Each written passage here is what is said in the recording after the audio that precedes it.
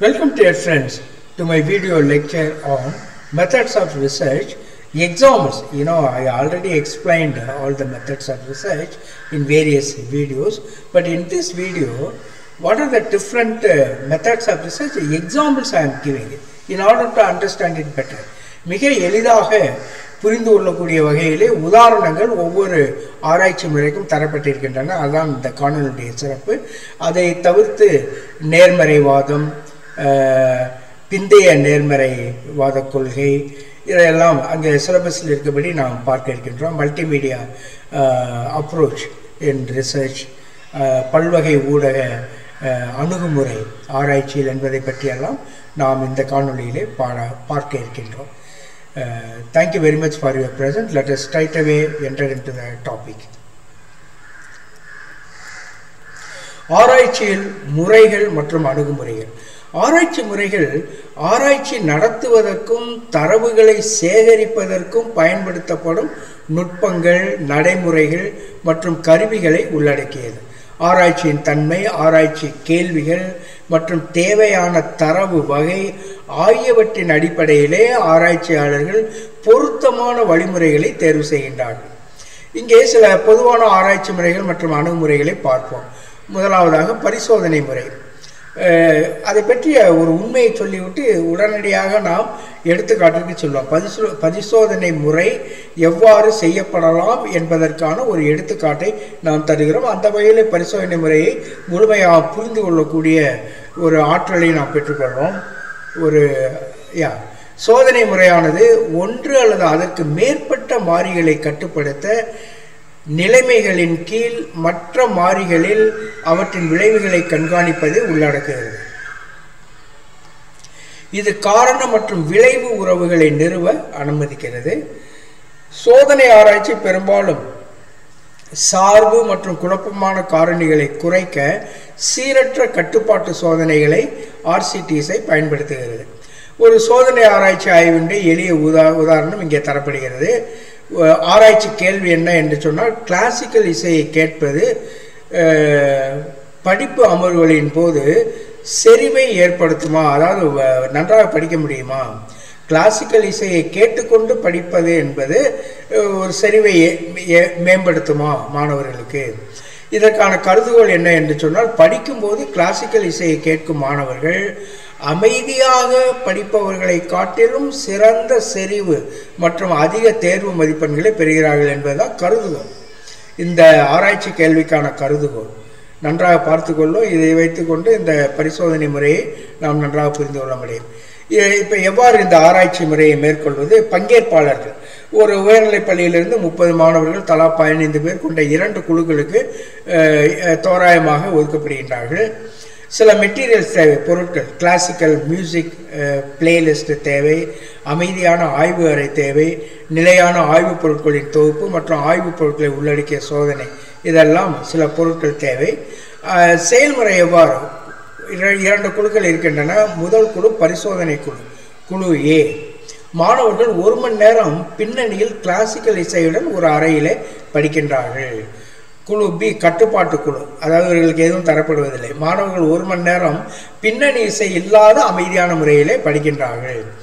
ஆய்வு அமர்க்கு அமர்வுக்கு பிறகு அனைத்து மாணவர்களும் தாங்கள் படித்த பாடத்தில் ஒரே மாதிரியான தேர்வை எடுக்கிறார்கள். இப்பொழுது தரவு சேகரிக்கப்படுகிறது தரவு சேகரிப்பு. அனைத்து மாணவர்களுடைய தேர்வு மதிப்பெண்களையும் பதிவு செய்யப்படும். எவ்வாறு முடிவுகள் சொல்லப்படும்?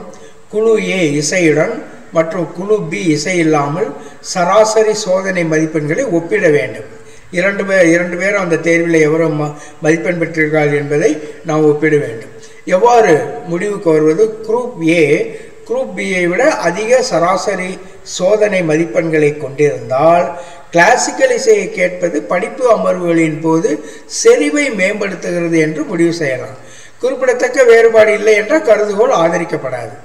இந்த எளிய பரிசோதனையானது ஒரு சுயாதான ஒரு சுயாதீன மாறி கிளாசிக்கல் இசையின் இருப்பு அல்லது இல்லாமை மற்றும் ஒரு சார்பு மாறி சோதனை மதிப்பெண்கள் குழப்பமான மாறிகளை கட்டுப்படுத்த சீரற்ற ஒதுக்கீட்டை கொண்டுள்ளது. என்ன என்று பார்ப்போம். ஒரு நிமிடம்.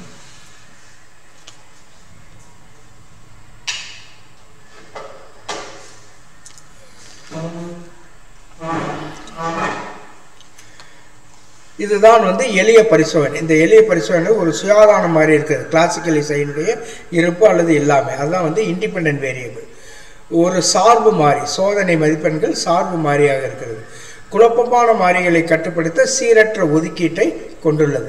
சில சமயங்களில் மாணவர்கள் எப்படி இருந்தால் படித்துக்கொள்ளலாம் என்ற நிலையிலே இருந்தால் அது இந்த ஆராய்ச்சிக்கு ஆராய்ச்சிக்கு குந்தகம் விளைவிக்கும் ஆகவே அப்படிப்பட்ட மாணவர்களை ஒதுக்கி விடுவது. அது சீரற்ற ஒதுக்கீட்டை நாம நாமாக யாரையும் போடாமல் ஒரு குறிப்பிட்ட முறையில் சீரற்ற ஒதுக்கீட்டை ஒதுக்கீட்டின் வழியாக மாணவர்களை தேர்ந்தெடுப்பது. அதாவது இந்த லைக்ஸ் அண்ட் டிஸ்ட்ரக்ஷன் என்று சொல்லக்கூடிய இந்த விருப்பு வெறுப்பு இல்லாமல் ஒரு குறிப்பிட்ட முறையில் செய்கின்ற பொழுது அது நிச்சயமாக குழப்பமான மாறிகளை அதாவது தானாக தோன்றுகின்ற அந்த கன்ஃபவுண்டிங் வேரியபிள்ஸை கட்டுப்படுத்தும் என்பதுதான் இதனுடைய நோக்கம். அடுத்து கணக்கெடுப்பு முறை. கணக்கெடுப்பு முறையானது கேள்வித்தாளர்கள் நேர்காணல்கள் அல்லது ஆன்லைன் படிவங்கள் மூலம் ஒரு குறிப்பிட்ட மாதிரியிலிருந்து தரவை சேகரிப்பதை உள்ளடக்கியது. கணக்கெடுப்பு அதாவது சர்வே மெத்தட் என்று சொல்வார்கள். கணக்கெடுப்பு முறையானது கேள்வித்தாள்கள் நேர்காணல்கள் அல்லது ஆன்லைன் படிவங்கள் மூலம் ஒரு குறிப்பிட்ட மாதிரியிலிருந்து தரவை சேகரிப்பதை உள்ளடக்கியது. தனிநபர்கள் அல்லது குழுக்களின் கருத்துக்கள் நடத்தைகள் மற்றும் குணாதிசயங்கள் பற்றிய தகவல்களை சேகரிக்க குறுக்குவெட்டு நீளமான அல்லது குழு ஆய்வுகள் போன்ற பல்வேறு ஆய்வு வடிவமைப்புகளை ஆராய்ச்சியாளர்கள் இதில் பயன்படுத்துகின்றார்கள். இதற்கான ஒரு எடுத்துக்காட்டு என்ன? ஆராய்ச்சியில் எளிய கணக்கெடுப்பு முறையினுடைய எடுத்துக்காட்டு. கணக்கெடுப்பு முறை. உதாரணம் வாடிக்கையாளர் திருப்தி கணக்கெடுப்பு. வாடிக்கையாளர் திருப்தி கணக்கெடுப்பு. எந்த அளவுக்கு திருப்தி அடைகிறார் என்பதை பற்றிய ஒரு கணக்கு. குறிக்கோள் உள்ளூர் காபி ஷாப் வழங்கும் சேவைகளில் வாடிக்கையாளர் திருப்தியை மதிப்பிடுவது. ஒரு குறிப்பிட்ட ஒரு காபி ஷாப் சென்று அங்கு வாடிக்கையாளருடைய திருப்தியை ஒப்பிடுவது மதிப்பிடுவது. இதனுடைய படிகள் என்ன? முதலில் நோக்கங்களை வரையறுப்பது. ஒட்டுமொத்த வாடிக்கையாளர் திருப்தியை புரிந்து கொள்ள வேண்டும். முன்னேற்றத்திற்கான பகுதிகளை அடையாளம் காண வேண்டும். வாடிக்கையாளர் விசுவாசத்தை அளவிட வேண்டும். இது எல்லாமே நோக்கங்களிலே வருகின்றன. ஒட்டுமொத்த வாடிக்கையாளர் திருப்தியை புரிந்து கொள்ளுதல் காஃபி சாப்பிடுவதால் அந்த திருப்தி ஏற்படுகிறதா? முன்னேற்றத்திற்கான பகுதியில் எந்தெந்த விஷயங்களில் இன்னும் முன்னேற்றம் அடைந்தால் அந்த காஃபி ஷாப் நன்றாக ஓடும்? வாடிக்கையாளர் விசுவாசம். எந்த அளவிற்கு இந்த கடையை நாடி எத்தனை பேர் வருகிறார்கள் என்பதை பற்றி அந்த வாடிக்கையாளர் விசுவாசத்தை அளவிடுதல் அடுத்து கேள்வித்தாளை உருவாக்குதல். சுருக்கமாகவும் கவனம் செலுத்தி தேர்வுகள் தேர்வு கேள்விகள் தயாரிக்கப்பட வேண்டும். பல தேர்வு கேள்விகள் மதிப்பீட்டு அளவுகள் மற்றும் திறந்த கேள்விகள் ஆகியவற்றின் கலவையை நாம் பயன்படுத்தலாம். இப்போ மாதிரி கேள்விகளாக கே இப்படி சொல்லலாம். எங்கள் காப்பி கடைக்கு எத்தனை முறை வருகிறீர்கள்? இது பல பல தேர்வில் இருக்குது அதாவது ப பல மாதிரியான கேள்வி வேறு வேறு வடிவங்களில் கேள்வி கேட்பது. எங்கள் காப்பி கடைக்கு எத்தனை முறை வருகிறீர்கள்? தினசரி வாரந்தோறும் மாதாந்தோறும் அரிதா என்று சொல்ல எங்கள் காபி ஷாப்பில் உங்கள் ஒட்டுமொத்த திருப்தியை எப் எப்படி மதிப்பிடுவீர்கள்? ஒன்று முதல் ஐந்து வரை ரேட்டிங் ஸ்கேல் கொடுத்து அதில் வந்து அவர்கள் எவ்வாறு மதிப்பீடு செய்ய செய்யப்படுகிறார்கள் என்று பார்ப்பது. எங்கள் ஒட்டுமொத்த எங்கள் காபி ஷாப்பில் உங்கள் ஒட்டுமொத்த திருப்தியை எப்படி மதிப்பிடுவீர்கள்? எங்கள் காபி ஷாப்பில் உங்களுக்கு மிகவும் பிடித்தது எது? திறந்த நிலையில் எங்கள் காபி ஷாப்பை ஒரு நண்பர் அல்லது குடும்ப உறுப்பினருக்கு நீங்கள் எவ்வளவு பரிந்துரைக்கிறீர்கள்? மதிப்பீட்டு அளவு ஒன்று முதல் பத்து வரை. அதுக்குள்ளே அவங்க செலக்ட் பண்ணணும். அடுத்து மாதிரியை தேர்ந்தெடுக்கவும். மாதிரினா சாம்பிள் எத்தனையோ வாடிக்கையாளர் வருவார்கள் அதில் குறிப்பிட்ட சில வாடிக்கையாளர்களை தேர்ந்தெடுப்பது அதுதான் மாதிரியை தேர்ந்தெடுப்பது உங்கள் வாடிக்கையாளர் தளத்தை பிரதிநிதித்துவப்படுத்துவதும் நிர்வகிக்கக்கூடிய மாதிரி அளவை தேர்வு செய்யவும். உதாரணமாக ஒரு வாரத்தில் காப்பி கிடைக்க வரும் நூறு வாடிக்கையாளர்களிடத்திலே கணக்கெடுப்பு நடத்த வேண்டும். எவ்வாறு கணக்கெடுப்பை விநியோகிப்பது? கடையில் உடல் ஆய்வுகளை வழங்கல் மின்னஞ்சல் மற்றும் சமூக உடல் ஆய்வு என்று சொன்னால் சும்மா பேப்பர் பேப்பரில் கேள்வி போட்டு அது கொடுக்குறது. அது அது சு- அது டிரான்ஸ்லேஷன் அப்படி இருக்கிறது. அதாவது ஆன்லைன் இல்லாமல் ஆஃப்லைனில் கொடுக்கக்கூடிய அந்த கேள்வித்தாள். இவை அதை வழங்குவது. அடுத்து மின்னஞ்சல் அல்லது சமூக ஊடகம் மூலம் ஆன்லைன் கணக்கெடுப்புக்கான இணைப்பை வழங்குவது. இரண்டு வகையில் செய்யலாம். அடுத்து தரவை சேகரித்து பகுப்பாய்வு செய்வது. முடிக்கப்பட்ட அனைத்து ஆய்வுகளை முதலில் சேகரிக்கவும் போக்குகள் மற்றும் நுண் அறிவுகளை அடையாளம் காண பதில்களை பகுப்பாய்வு செய்ய வேண்டும். அதெல்லாம் செய்த பிற்பாடு அறிக்கை கண்டுபிடிப்புகள் ஒரு அறிக்கையில் முக்கிய கண்டுபிடிப்புகளை சுருக்கி சொல்ல வேண்டும். அதிக திருப்தியான பகுதிகள் மற்றும் முன்னேற்றம் தேவைப்படும் பகுதிகளை முன்னிலைப்படுத்தி அப்படி முடிவுகள் அறிக்கையில் சொல்ல வேண்டும். கணக்கெடுப்பு முடிவுகளின் அடிப்படையில் பரிந்துரைகளை உருவாக்கம் செய்யலாம். கணக்கெடுப்பு முடிவுகளின் அடிப்படையில் பரிந்துரைகளை கொடுப்பது. அடுத்து மாற்றங்களை செயல்படுத்துவது. தகவல் அறிந்த முடிவுகளை எடுக்கவும் காப்பி கடையினுடைய சேவைகளை மேம்படுத்தவும் கணக்கெடுப்பு நுண்ணறிவை பயன்படுத்துதல். தன் பின்தொடர்தல் காலப்போக்கில் வாடிக்கையாளர் திருப்தியில் ஏற்படும் மாற்றங்களை கண்காணிக்க அவ்வப்போது பின்தொடர்தல் ஆய்வுகளை நடத்துதல். ஃபாலோ அப் ஸ்டடீஸ் என்று சொல்லுவோமே அது. ஃபாலோ அப் ஸ்டடீஸ் இந்த உதாரணம் வாடிக்கையாளர் திருப்தி கணக்கெடுப்பை நடத்துவதற்கான நேரடியான அணுகுமுறையை நிரூபிக்கிறது. இது பல்வேறு ஆராய்ச்சி தேவைகளுக்கு ஏற்றவாறு மாற்றியமைக்கப்படலாம். அடுத்து கண்காணிப்பு முறை ஆப்சர்வேஷனல் மெத்தட் என்று இருக்கிறது ரிசர்ச்சில் அதை பற்றி படிக்கிறோம். கண்காணிப்பு முறை அல்லது வந்து உற்று நோக்கல் முறை. அவதானிப்பு உற்று நோக்கல் ஆராய்ச்சி அது அவதானிப்பு ஆராய்ச்சி என்பது நடத்தைகள் நிகழ்வுகள் அல்லது அவற்றை நிஜ வாழ்க்கை அமைப்புகளில் இயல்பாக நிகழும்போது அவற்றை கவனித்து ஆவணப்படுத்துவது டாக்குமெண்ட் ஏற்படுத்துவதை உள்ளடக்கியதுனால் இந்த கண்காணிப்பு முறை. கண்காணிப்பு முறை ஆப்சர்வேஷனல் மெத்தட் சோதனை அமைப்புகளில் கையாள முடியாத அல்லது கட்டுப்படுத்த முடியாத நடத்தைகளை படிப்பதற்கு இந்த முறை மிகவும் சிறப்பானது. சோதனை அமைப்புகளில் கையாள முடியாதவற்றிற்கு இந்த முறையை நாம் பயன்படுத்தலாம். கண்காணிப்பு ஆராய்ச்சியானது பங்கேற்பாளர் அல்லது பங்கேற்பாளர் அல்லாத கட்டமைக்கப்பட்ட அல்லது கட்டமைக்கப்படாததாக இருக்கலாம். அதாவது கண்காணிப்பு ஆராய்ச்சியானது பார்ட்டிசிபெண்ட் ஆப்சர்வேஷன்னா ஆராய்ச்சியாளரை நேரடியாக கூடவே சேர்ந்து இருப்பது. அதாவது ஒரு விளையாட்டை சோ- சோதனை செய்ய வேண்டும் என்று சொன்னால் சேர்ந்தே விளையாடுவது. அது பங்கேற்பாளர் ஆராய்ச்சி என்று சொல்கிறோம் கண்காணிப்பு ஆராய்ச்சியானது பங்கேற்பாளர் அல்லது பங்கேற்பாளர் அல்லாது அல்லது தொலைவில் இருந்தே கூட கண்காணிப்பை செய்யலாம். அது கட்டமைக்கப்பட்ட அல்லது கட்டமைக்கப்படாததாக இருக்கணும். இந்த தருணத்தில் இப்படி செய்ய வேண்டும் அல்லது யதார்த்தமாக செய்வது. என்பது. இதை இதைத்தான் உற்று நோக்க வேண்டும். அல்லது பொதுவாக எ- எது ஆராய்ச்சி தேவையோ அதை அவற்றை அனைத்தையும் உற்று நோக்குது ஆகவே அதை கட்டமைக்கப்பட்ட அல்லது கட்டமைக்கப்படாத ஒரு உற்று நோக்கலாக இருக்கலாம்.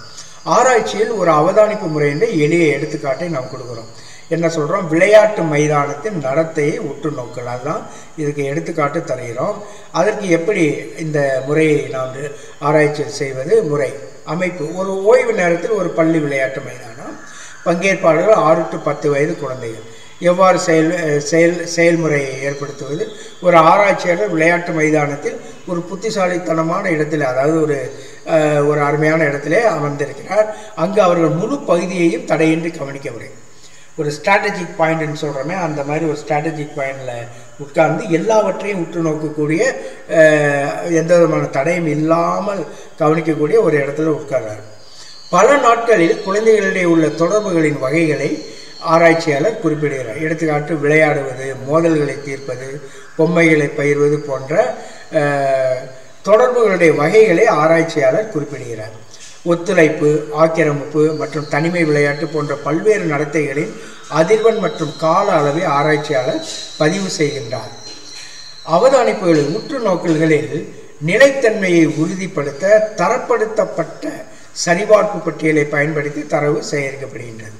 இதனுடைய குறிக்கோள் என்ன? இந்த உற்றுநோக்களுடைய குறிக்கோள் குழந்தைகளுடைய நடத்தையில் தலையிடாமல் அல்லது தாக்கத்தை ஏற்படுத்தாமல் இயற்கையான அமைப்பில் உள்ள சமூக தொடர்புகளுடைய வடிவங்களை புரிந்து கொள்வதுதான் இதனுடைய நோக்கம். இந்த ஆராய்ச்சி வடிவத்தினுடைய நோக்கம். இந்த முறையானது குழந்தைகள் இயற்கையாக ஒருவரோடு ஒருவர் எவ்வாறு தொடர்பு கொள்கிறார்கள் என்பதை பற்றிய தரவுகளை சேகரிக்க ஆராய்ச்சியாளர்களை அனுமதிக்கிறது. நேர்காணல்கள் அல்லது கருத்து கணிப்புகள் மூலம் கைப்பற்றப்படாத நுண்ணறிவுகளை வழங்குகிறது. அதாவது உற்று கவனிப்பதன் மூலமாக பல அதாவது கருத்து கணிப்புக்கும் அப்பாற்பட்ட நுண்ணறிவுகளை எல்லாம் நாம் பெற்றுக்கொள்ள முடியும். இந்த நேர்காணல் வழியாக நேர்காணல் இல்லாமல் உற்று நோக்கல் வழியாக. நேர்காணலில் கூட சில கேள்விகளை நாம் கேட்காமல் போய்விடலாம். ஆனால் இங்கே எல்லாவற்றையும் உற்று ஒரே நேரத்தில் உற்று நோக்குகின்ற பொழுது இந்த ரெண்டிலும் தெரியாத அந்த நுண்ணறிவுகளை கூட இந்த உற்று நோக்கல் ஆராய்ச்சியின் வழியாக உற்று நோக்கல் வழிமுறையின் வழியாக பெற்றுக்கொள்ள முடியும். அதைத்தான் இங்கே சொல்லுகிறோம். அடுத்து நேர்காணல் முறை. நேர்காணல் முறையானது ஆய்வாளருக்கும் பங்கேற்பாளர்களுக்கும் இடையேயான ஒரு நேரடி உரையாடல் மூலம் தரவை பெறுவதை உள்ளடக்கிறது அது இன்டர்வியூ மெத்தட்னு நேர்காணல் இன்டர்வியூ அதைத்தான் சொல்கிறோம் முன்வரையறுக்கப்பட்ட கேள்விகளின் அளவை பொறுத்து நேர்காணல்கள் கட்டமைக்கப்பட்ட அரை கட்டமைக்கப்பட்ட அல்லது கட்டமைக்கப்படாததாக இருக்கலாம். இந்த முறை விரிவான மற்றும் ஆழமான தகவலை சேகரிப்பதற்கு மதிப்புமிக்கது குறிப்பாக இந்த குவாலிட்டேட்டிவ் ரிசர்ச் தரமான ஆராய்ச்சியிலே. அடுத்து உள்ளடக்க ஆய்வு கான்டென்ட் அனாலிசிஸ் என்பது இன்னொரு முறை ஆராய்ச்சி முறை. உள்ளடக்க பகுப்பாய்வு என்பது உரைகள் படங்கள் ஆடியோ மற்றும் வீடியோ போன்ற பல்வேறு வகையான தகவல் தொடர்புகளுடைய உள்ளடக்கத்தை பகுப்பாய்வு செய்ய பயன்படுத்தப்படும் ஒரு நுட்பம். ஆராய்ச்சியாளர்கள் உள்ளடக்கத்தில் உள்ள வடிவங்கள் கருப்பொருட்கள் மற்றும் அர்த்தங்களை அடையாளம் கண்டு செய்தி சூழல் அல்லது பார்வையாளர்களுடைய வரவேற்பை பற்றிய நுண்ணறிவுகளை வழங்குகிறார்கள். ஆகவே உள்ளடக்கத்தில் உள்ள வடிவங்கள் கருப்பொருட்கள் மற்றும் அர்த்தங்களை அடையாளம் கண்டு செய்தி சூழல் அல்லது பார்வையாளர்களுடைய வரவேற்பை பற்றிய நுண்ணறிவுகளை வழங்குவது இதனுடைய நோக்கம். ஊடக ஆய்வுகள் தகவல் தொடர்பு ஆராய்ச்சி மற்றும் சமூக அறிவியல் ஆகியவற்றிலே உள்ளடக்க பகுப்பாய்வு பரவலாக உள்ளது. ஆகவே இந்த ஊடக ஆய்வுகள் இந்த மீடியா ரிசர்ச்சர்ஸ் தகவல் தொடர்பு ஆராய்ச்சி communication researchers and social sociological social science இவற்றிலெல்லாம் உள்ளடக்க பகுப்பாய்வு அதிகமாக இருக்கிறது. ஆராய்ச்சியில் உள்ளடக்க பகுப்புக்கா பகுப்பாய்வுக்கான எளிய எடுத்துக்காட்டு என்ன? ஆராய்ச்சி கேள்வி இப்படி கேட்குறோம். இந்த உள்ளடக்க வழிமுறைக்கு எப்படி ஆராய்ச்சி கேள்வி வைக்கின்றோம் என்று சொன்னால் முக்கிய செய்தி நிறுவனங்கள் தங்களின் தலைப்புச் செய்திகளில் காலநிலை மாற்றத்தை எவ்வாறு சித்தரிக்கின்றன இது ஆராய்ச்சி கேள்வி.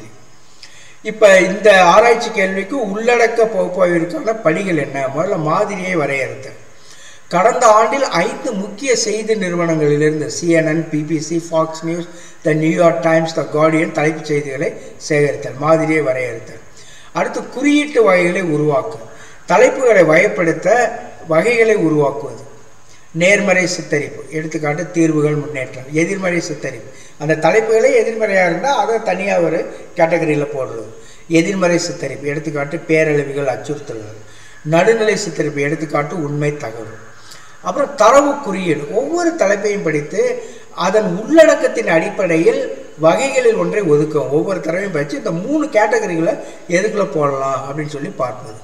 தரவை பகுப்பாய்வு செய்வது. ஒவ்வொரு செய்தி நிலையத்திற்கும் ஒவ்வொரு வகையிலும் தலைப்புச் செய்திகளுடைய அதிர்வெண்ணை கணக்கிடுது. எத்தனை சொல்கிறாங்க எத்தனை பாசிட்டிவாக சொல்கிறாங்க எத்தனை நெகட்டிவாக சொல்கிறாங்க அந்த மாதிரி அதிர்வெண்ணை கணக்கிடுது. வெவ்வேறு விற்பனை நிலையங்களில் காலநிலை மாற்றத்தினுடைய சித்தரிப்பை ஒப்பிடுது. அடுத்து முடிவுகளை விளக்குதல். காலநிலை மாற்றத்தை நேர்மறையாகவோ எதிர்மறையாகவோ அல்லது நடுநிலையாகவோ எந்த செய்தி வெளியிடுகிறது என்பதை தீர்மானித்தல். தரவுகளில் காணப்பட்ட ஏதேனும் வடிவங்கள் அல்லது போக்குகளை பற்றி விவாதித்தல். எடுத்துக்காட்டு பகுப்பாய்வு. இரநூறு தலைப்புச் செய்திகளை நாம் குறிப்பிட்டிருக்கிறோம். முடிவுகள் இப்படி தோன்றலாம். செய்தி வெளியீடு நேர்மறை எதிர்மறை நடுநிலை. சிஎன்என் என்பது நேர்மறை. இருபது இருக்கிறது எதிர்மறை ஐம்பது இருக்கிறது நடுநிலையான செய்தி முப்பது இருக்கிறது. நியூட்ரல் பிபிசி இருபத்தஞ்சி நேர்மறை நாற்பது எதிர்மறை நடுநிலை முப்பத்தஞ்சு. ஃபாக்ஸ் நியூஸ் பத்து நேர்மறை அறுபது எதிர்மறை முப்பது நடுநிலை. அடுத்து த நியூயார்க் டைம்ஸ் முப்பது நேர்மறை முப்பது எதிர்மறை நாற்பது நடுநிலை. அடுத்து பாதுகாவலர் அது முப்பத்தஞ்சு கார்டியன் கார்டியன்கிறத அப்போ போட்டிருக்காங்க பாதுகாவலர். கார்டியன்கிற அந்த அமெரிக்கன் நியூஸ் பேப்பர் முப்பத்தஞ்சு நேர்மறை இருபத்தஞ்சி எதிர்மறை நாற்பது நடுநிலை. இப்பொழுது விளக்கம் இவ்வாறு தர்றோம் ஃபாக்ஸ் நியூஸ் அதிக எண்ணிக்கையிலான எதிர்மறையான சித்தரிப்புகளை கொண்டுள்ளது. கார்டியன் அதிக எண்ணிக்கையிலான நேர்மறையான சித்தரிப்புகளை கொண்டுள்ளது. ஏற்கனவே நாம் கண்டுபிடித்த அந்த அட்டவணையின்படி நாம் இப்போ இவ்வாறு முடிவுக்கு வருகிறோம் நியூயார்க் டைம்ஸ் மற்றும் த கார்டியன் ஆகியவை அதிக எண்ணிக்கையிலான நடுநிலை சித்தரிப்புகளை கொண்டுள்ளன. இந்த தரவை பகுப்பாய்வு செய்வதன் மூலம் காலநிலை மாற்றத்தின் சிக்கலை வெவ்வேறு செய்தி நிறுவனங்கள் எவ்வாறு உருவாக்குகின்றன என்பதை பற்றிய நுண்ணறிவுகளை ஆராய்ச்சியாளர்கள் பெற்றுக்கொள்ளலாம். இது பொதுமக்களுடைய கருத்து மற்றும் கொள்கையை பாதிக்கலாம். இந்த முடிவுகள் பொதுமக்களுடைய கருத்தை நிச்சயமாக பாதிக்கும். இது ஒரு எளிமையான உ- உதாரணம். ஆனால் இது ஆராய்ச்சியில் உள்ளடக்க பகுப்பாய்வுடைய சாரத்தை படம் பிடித்து காட்டுகிறது. அடுத்து வரலாற்று பகுப்பாய்வு. வரலாற்று பகுப்பாய்வு என்பது வரலாற்று ஆவணங்கள் பதிவுகள் மற்றும் கலைப்பொருட்களை ஆய்வு செய்வதன் மூலம் காலப்போக்கில் நிகழ்வுகள் போக்குகள் மற்றும் முன்னேற்றங்களை புரிந்து கொள்வது. தான் வரலாற்று பகுப்பாய்வு. அடுத்து ஆராய்ச்சியாளர்கள் முதன்மை மற்றும் இரண்டாம் நிலை ஆதாரங்களை விமர்சன ரீதியாக பகுப்பாய்வு செய்கிறார்கள். வரலாற்று தரவை விளக்குகிறார்கள் மற்றும் கடந்த கால நிகழ்வுகள் மற்றும் அவற்றின் முக்கியத்துவத்தை வெளிச்சம் போட்டு காட்டுவதற்காக கதைகளை உருவாக்குகிறார்கள். ஆராய்ச்சியில் ஆராய்ச்சியில் வரலாற்று பகுப்பாய்வினுடைய எளிய எடுத்துக்காட்டு இதுதான். ஆராய்ச்சி தலைப்பு. பத்தொன்பதாம் நூற்றாண்டில் பிரிட்டனில் நகரமயமாக்கல் மீதான தொழில்துறை புரட்சியினுடைய தாக்கத்தை பற்றி நாம் பேசிக்கொண்டிருக்கிறோம் அதுதான் தலைப்பு. அதுதான் தலைப்பாக வைத்துக்கிறோம் பத்தொன்பதாம் நூற்றாண்டில் பிரிட்டனில் நகரமயமாக்கல் மீதான தொழில்துறை புரட்சியினுடைய தாக்கம். இதனுடைய குறிக்கோள் என்ன? இந்த ஆராய்ச்சி வரலாற்று ஆராய்ச்சியுடைய குறிக்கோள். பத்தொன்பதாம் நூற்றாண்டில் பிரிட்டனில் உள்ள நகரங்களின் வளர்ச்சி மற்றும் மேம்பாட்டில் தொழில்துறை புரட்சி எவ்வாறு தாக்கத்தை ஏற்படுத்தியது என்பதை புரிந்து கொள்வது.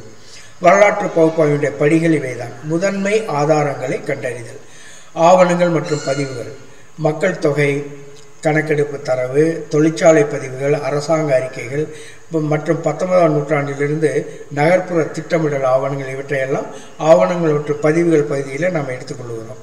அடுத்து தனிப்பட்ட விவரிப்புகள். தொழில்துறை புரட்சியின் போது வாழ்ந்த மக்களுடைய நாட்குறிப்புகள் கடிதங்கள் மற்றும் சுயசெய்திகள் இவற்றை நாம் திரட்டிக் கொள்கிறோம். அடுத்த செய்தித்தாள்கள் மற்றும் பத்திரிகைகள். நகர்ப்புற வளர்ச்சி மற்றும் தொழில்மயமாக்கல் பற்றி விவாதிக்கும் பத்தொன்பதாம் நூற்றாண்டு பத்திரிகைகளுடைய கட்டுரைகள் மற்றும் தலையங்கங்களை எல்லாம் நாம் சேகரித்துக் கொள்கிறோம். இது முதல் முதன்மை ஆதாரங்கள். இரண்டாம் நிலை ஆதாரங்களையும் ஆய்வு செய்கிறோம்.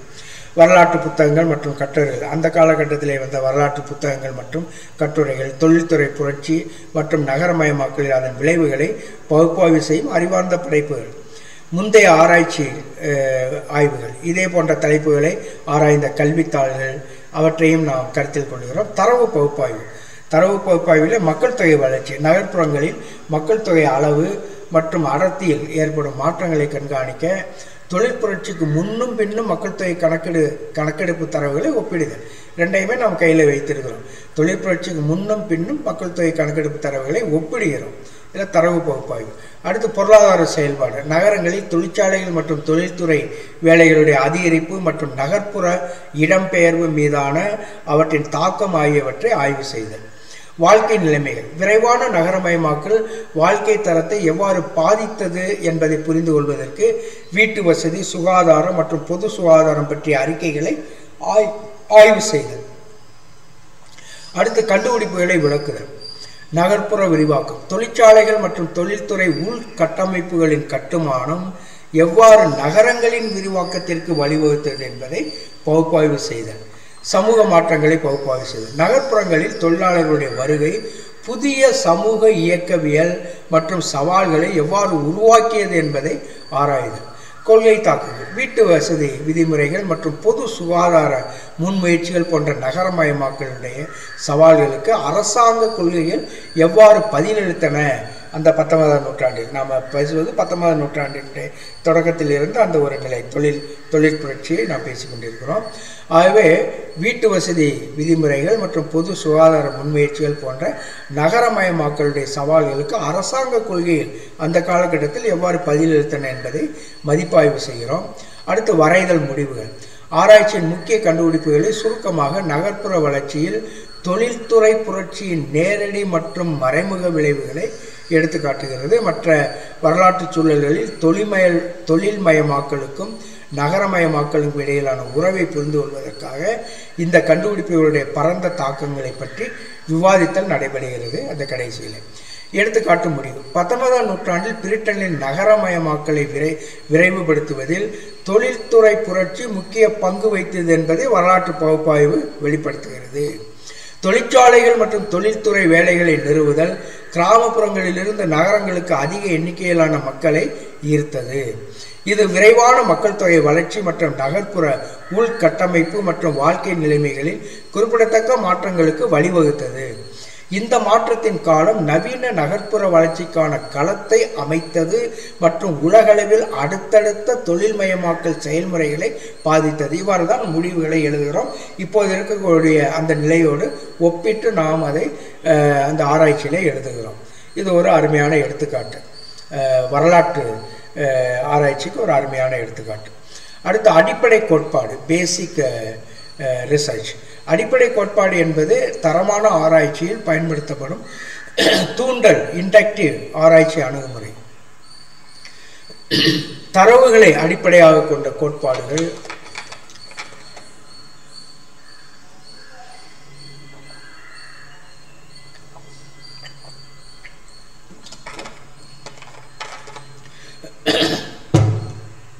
தரவுகளை அடிப்படையாக கொண்ட கோட்பாடுகள். அல்லது கருத்துக்களை உருவாக்க தரவுகளின் முறையான உருவாக்கம் மற்றும் பகுப்பாய்வு ஆய்வை பகுப்பாய்வு ஆய்வை இதில் அடங்கும். ஆராய்ச்சியாளர்கள் மீண்டும் மீண்டும் தரவுகளை சேகரித்து பகுப்பாய்வு செய்கிறார்கள். ஏற்கனவே இருக்கும் கோட்பாடுகளை திணிப்பதற்கு பதிலாக ஆராய்ச்சி செயல்முறையிலிருந்து கோட்பாடு வெளிவர இந்த முறை அனுமதிக்கிறது. ஆராய்ச்சியில் அடிப்படை கோட்பாடு அணுகுமுறையில் எளிய எடுத்துக்காட்டு. உதாரணமாக மாணவர் உந்துதலை படிப்பது மோட்டிவேஷன் ஸ்டூடெண்ட் மோட்டிவேஷனை பற்றி படிப்பது. ஆராய்ச்சி கவனம் எதிலே ஆராய்ச்சி கவனம் செலுத்த வேண்டும். உயர்நிலைப்பள்ளி மாணவர்கள் மாணவர்களை கடினமாக படிக்க தூண்டுவது எது என்பதை ஒரு ஆராய்ச்சியாளர் புரிந்து கொள்ள விரும்புகிறார். இதுதான் அவருடைய நோக்கமாக ஆராய்ச்சியுடைய நோக்கமாக இருக்கிறது. ஆராய்ச்சியுடைய நோக்கம் உயர்நிலைப்பள்ளி மாணவர்கள் கடினமாக படிக்க துள்ளுவது எது என்பதை ஒரு ஆராய்ச்சியாளர் புரிந்து கொள்ள விரும்புகிறார். அதற்கான தரவு சேகரிப்பில் ஈடுபடுகிறார். ஆராய்ச்சியாளர் இருபது உயர்நிலைப்பள்ளி மாணவர்களை திறந்த நேர்காணல்களை நடத்துகிறார். இது போன்ற கேள்விகளை கேட்கிறார். உனக்கு என்ன படிக்க ஆசை? நீங்கள் படிக்க உந்துதல் பெற்ற ஒரு காலத்தை விவரிக்க முடியுமா? மற்றும் ஏன்? ஆரம்ப குறியீட்டு முறை அடுத்து. நேர்காணல்களை படியெடுத்த பிறகு ஆய்வாளர் அவற்றை படித்து தரவை குறியிடத் தொடங்குறது குறியீட்டு முறை. குறியீட்டு முறை என்பது உரையின் பகுதிகளை வகைகளுடன் லேபல் இடுவதை உள்ளடக்கியது. உதாரணமாக உள்ளார்ந்த உந்துதல் ஒரு ஒருவர் வந்து சொல்லுகிறார் புதிய விஷயங்களை கற்றுக்கொள்வதை நான் மிகவும் ரசிக்கிறேன் என்று ஒரு மாணவர் சொல்லுகின்றார். அது எந்த பகுதியில் எந்த லே அதுக்கு என்ன லேபிள் கொடுக்கலாம் உள்ளார்ந்த உந்துதல்.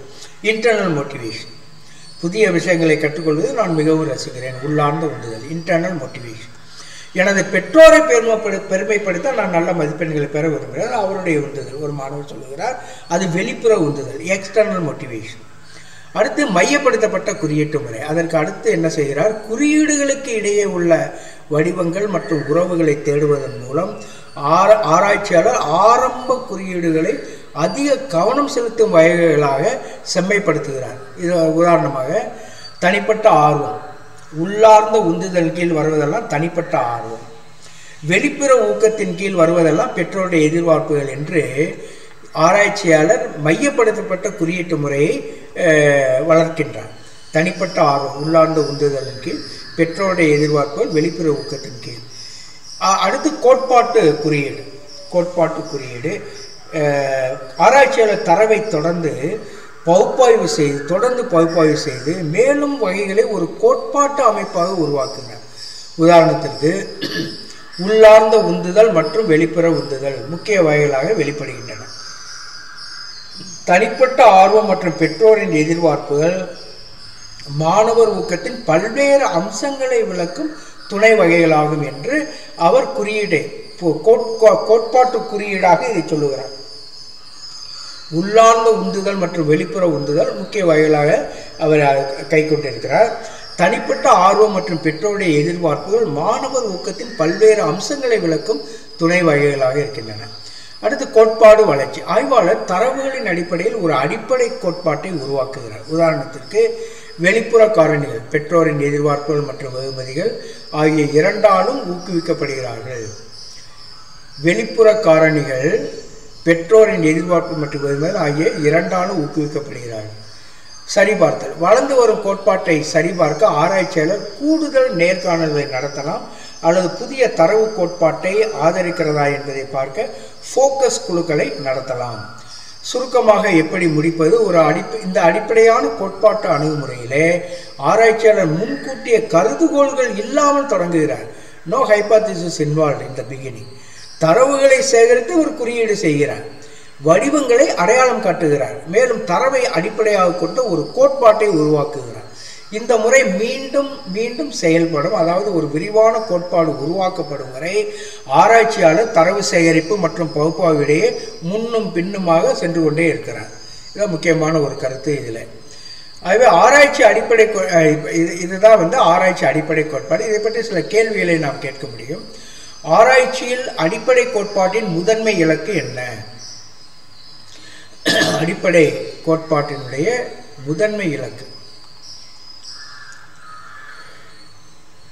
அடிப்படை கோட்பாடு அதாவது புதிய கோட்பாடை உருவாக்குறதும் அடிப்படை ஆராய்ச்சியினுடைய ஒரு முக்கிய நோக்கம். இதை ஏற்கனவே நாம் பார்த்திருக்கின்றோம். தற்போதுள்ள கோட்பாடுகளை உறுதிப்படுத்துவது அல்லது கருதுகோளை சோதிப்பதை விட புதிய கோட்பாடுகள் அல்லது தரவுகளின் அடிப்படையில் விளக்கங்களை உருவாக்குவதிலே முதன்மையான அக்கறை கொண்டிருக்கிறது. இந்த அடிப்படை ஆராய்ச்சி அடிப்படை கோட்பாடு. அடுத்து எந்த ஆராய்ச்சியாளர் அடிப்படை கோட்பாட்டை உருவாக்கிய பெருமைக்குரியவர்?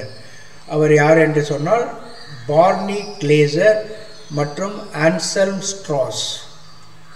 அடிப்படை கோட்பாடு ஆயிரத்தி தொள்ளாயிரத்தி அறுபதுகளிலே பார்னி கிளேசர் மற்றும் ஆன்சன் ஸ்ட்ராஸ் ஆகியோரால் உருவாக்கப்பட்டது. அடிப்படை கோட்பாட்டில் தரவை கருத்துக்கள் அல்லது வகைகளுடன் ஒப்பிடும் செயல்முறை என்ன என்று அழைக்கப்படுகிறது. அடிப்படை கோட்பாட்டில் தரவை கருத்துக்கள் அல்லது வகைகளுடன் ஒப்பிடும் டேட்டாவை கருத்துக்கள் அல்லது வகைகளுடன் ஒப்பிடும் செயல்முறை என்ன என்று அழைக்கப்படுகிறது. தரவு பகுப்பாய்வு டேட்டா அனாலிசிஸ் என்று அழைக்கப்படுகிறது. தரவை கருத்துக்கள் அல்லது வகைகளுடன் ஒப்பிடும் செயல்முறையானது அடிப்படை கோட்பாட்டில் தரவு பகுப்பாய்வு கட்டத்தினுடைய ஒரு பகுதி அடிப்படை கோட்பாட்டில் ஒரு முக்கிய வகை என்ன?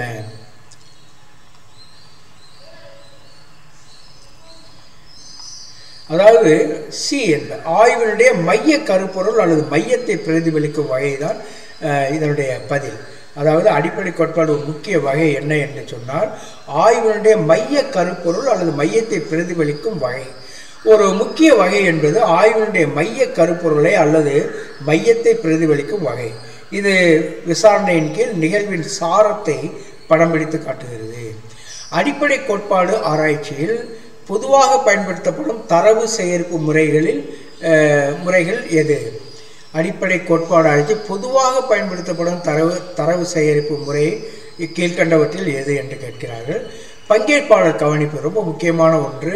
அடிப்படை கோட்பாட்டிலே பார்ட்டிசிபெண்ட் ஆப்சர்வேஷன் பங்கேற்பாளர் கவனிப்பு என்பது தக தரவு சேகரிப்பு முறை. இது வளமான நேரடி தரவை சேகரிக்க அடிப்படை கோட்பாடு ஆராய்ச்சியிலே பொதுவாக பயன்படுத்தப்படுகிறது. அடிப்படை கோட்பாடு ஆராய்ச்சியில் கோட்பாட்டு மாதிரியினுடைய நோக்கம் என்ன? அடிப்படை கோட்பாடு ஆராய்ச்சியில் கோட்பாட்டு மாதிரியின் நோக்கம் என்ன? பங்கேற்பாளர்களை தோராயமாக தேர்ந்தெடுக்க திரையில் இது நீங்கள் நாளை வாசித்துக் கொள்ளுங்கள். எது சரியான பதிலாக இருக்கும் என்றால் பலதரப்பட்ட ஆதாரங்களிலிருந்து தரவுகளை சேகரிப்பது. அடிப்படை கோட்பாடு மாதிரியுடைய நோக்கம் என்ன என்று சொன்னால் பலதரப்பட்ட ஆதாரங்களிலிருந்து தரவுகளை சேகரிப்பது. வளர்ந்து வரும் கோட்பாடுகளை செம்மைப்படுத்த மேம்படுத்தவும் பல்வேறு வகையான மூலங்களிலிருந்து தரவை சேகரிக்க கோட்பாட்டு மாதிரி பயன்படுத்தப்படுகிறது. அடிப்படை கோட்பாட்டில் திறந்த குறியீட்டு முறையினுடைய ஆரம்ப கட்டத்திற்கான சொல் என்ன? அடிப்படை கோட்பாட்டில் திறந்த குறியீட்டு முறையின் ஆரம்ப கட்டத்திற்கான சொல் என்ன? மையப்படுத்தப்பட்ட குறியீட்டு முறை.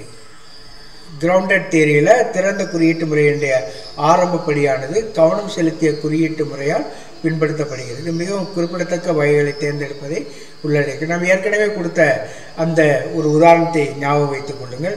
எவ்வாறு மாணவர்களுடைய அந்த ரெஸ்பான்சஸ் பதில்களை கொண்டு எவ்வாறு குறியீடுகளை அமைப்பது என்பதை நாம் பார்த்தோம். அதை நீங்கள் ஞாபகத்தில் கொண்டு வந்தால் நிச்சயமாக இதை புரிந்து கொள்ள முடியும் இந்த பாடத்தை. ஆகவே மையப்படுத்தப்பட்ட குறியீட்டு முறை என்பது மிக முக்கியமானது. கிரவுண்டன் தேரில் திறந்த குறியீட்டு முறையினுடைய ஆரம்பப்படியானது கவனம் செலுத்திய குறியீட்டு முறையால் பின்பற்றப்படுகிறது. இது மிகவும் குறிப்பிடத்தக்க வகைகளை தேர்ந்தெடுப்பதை உள்ளடக்கியது. அந்த உதாரணத்தை ஞாபகத்தில் கொள்ளவும். பின்வருவனவற்றில் அடிப்படை கோட்பாட்டு ஆராய்ச்சியுடைய இன்றியமையாத அம்சம் எது? அடிப்படை கோட்பாட்டினுடைய இன்றியமையாத அம்சம். மீண்டும் தரவு சேகரிப்பு மற்றும் பகுப்பாய்வு. அடிப்படை கோட்பாடு ஆராய்ச்சி என்பது முன் வரையறுக்கப்பட்ட கோட்பாட்டுடன் தொடங்குவதற்கு பதிலாக அல்லது அளவு தரவை மட்டுமே நம்பியிருப்பதற்கு பதிலாக மீண்டும் தரவு சேகரிப்பு மற்றும் பகுப்பாய்வு ஆகியவற்றை உள்ளடக்கியது. அடிப்படை கோட்பாடு ஆராய்ச்சியில் நிலையான ஒப்பீடு என்ன பங்கு வகிக்கிறது? அடிப்படை கோட்பாடு ஆராய்ச்சியில் நிலையான ஒப்பீடு என்ன பங்கு? கான்ஸ்டன்ட் கம்பேரிஷன் என்பது அது என்ன பங்கு வகிக்கிறது? அதாவது இது பிரிவுகள் மற்றும் கருத்துக்களை மேம்படுத்துவதற்கும் செம்மைப்படுத்துவதற்கும் உதவுகிறது. நிலையான ஒப்பீடு இந்த கான்ஸ்டன்ட் கம்பேரிசன் என்பது அடிப்படை கோட்பாடு ஆராய்ச்சியில் ஒரு முக்கிய செயல்முறை. இது தற்போதைய தரவு பகுப்பாய்வு மூலம் பிரிவுகள் மற்றும் கருத்துக்களை மேம்படுத்துவதற்கும் செம்மைப்படுத்துவதற்கும் உதவுகிறது. எந்த வகையான ஆராய்ச்சி வடிவமைப்பு பொதுவாக அடிப்படை கோட்பாடு முறையுடன் தொடர்புடையது? எந்த வகையான ஆராய்ச்சி வடிவமைப்பு பொதுவாக அடிப்படை கோட்பாட்டு முறையுடன் தொடர்புடையது. தரமான ஆராய்ச்சியோடு குவாலிட்டேட்டிவ் ரிச என்ன ரிசர்ச் டிசைன் அடிப்படை கோட்பாடு பெரும்பாலும் தரமான ஆராய்ச்சி வடிவமைப்போடு தொடர்புடையது. ஏனெனில் இது தரமான தரவுகளின் அடிப்படையில் கோட்பாடுகளை புரிந்து கொள்வதிலும் உருவாக்குவதிலும் கவனம் செலுத்துகிறது. அடுத்து ஒரு முக்கியமான முறை வழக்கு ஆய்வு முறை கேஸ் ஸ்டடி மெத்தட் என்று சொல்வது. வழக்கு ஆய்வு முறையானது ஒரு வழக்கு அல்லது சில வழக்குகளுடைய ஆழமான ஆய்வுகளை உள்ளடக்கியது. நேர்காணல்கள் ஆவணங்கள் மற்றும் அவதானிப்புகள் போன்ற பல ஆதாரங்கள் மூலம் ஆராய்ச்சியாளர்கள் விரிவான தகவல்களை சேகரிக்கின்றார்கள். சேகரிக்கப்பட்ட தரவு பின்னர் வடிவங்கள் கருப்பொருட்கள் மற்றும் வழக்கு தொடர்பான நுண்ணறிவுகளை அடையாளம் காண பகுப்பாய்வு செய்யப்படுகிறது. ஆராய்ச்சியில் ஒரு வழக்கு ஆய்வு முறை என்று வெளியே எடுத்துக்காட்டு. அது ஒரு கல்லூரியாக இருக்கலாம் அல்லது ஒரு குறிப்பிட்ட பெயரை கொண்ட கல்லூரிகளுடைய தொகுதியாக இருக்கலாம். வழக்கு ஆய்வு எடுத்துக்காட்டு. சில்லறை விற்பனை கடையில் வாடிக்கையாளர் சேவையை மேம்படுத்துதல். பின்னணி. ட்ரைட்மார்ட் என்ற சில்லறை விற்பனைகளை சமூகத்திய ஆய்வுகளின் அடிப்படையில் வாடிக்கையாளர் திருப்தியில் சரிவை சந்தித்து வருகிறது. அந்த ஸ்டோர் மேலாளர் அடிப்படை சிக்கல்களை ஆராய்ந்து வாடிக்கையாளர் சேவையை மேம்படுத்துவதற்கான உத்திகளை உருவாக்க விரும்புகிறார். இதுதான் வந்து அந்த கேஸ் பின்னணி. கேஸினுடைய பின்னணி. பேக்ரவுண்ட் குறிக்கோள். ட்ரைட்மார்ட்டில் வாடிக்கையாளர் சேவை அனுபவத்தை மேம்படுத்துவதற்கான உத்திகளை செயல்படுத்துவதும் இந்த வழக்கு ஆய்வினுடைய நோக்கம். குறிக்கோள். எந்த முறையில் செய்யப்படுகிறது முதலில் வழக்கின் தேர்வு. பிரைட்மார்ட் புறநகர் பகுதியில் அமைந்துள்ள ஒரு நடுத்தர அளவிலான சில்லறை விற்பனை கடை இந்த வழக்காய்வுக்கு தேர்ந்தெடுக்கப்படுகிறது. எவ்வாறு தரவு சேகரிக்கப்படுகிறது? நேர்காணல்கள் மூலம். தினசரி செயல்பாடுகள் மற்றும் வாடிக்கையாளர் தொடர்புகள் பற்றிய நுண்ணறிவுகளை சேகரிக்க காசாளர்கள் விற்பனை கூட்டாளிகள் மற்றும் கடை மேலாளர் உள்ளிட்ட கடை ஊழியர்களுடன் ஆழமான நேர்காணல்களை நடத்துவது.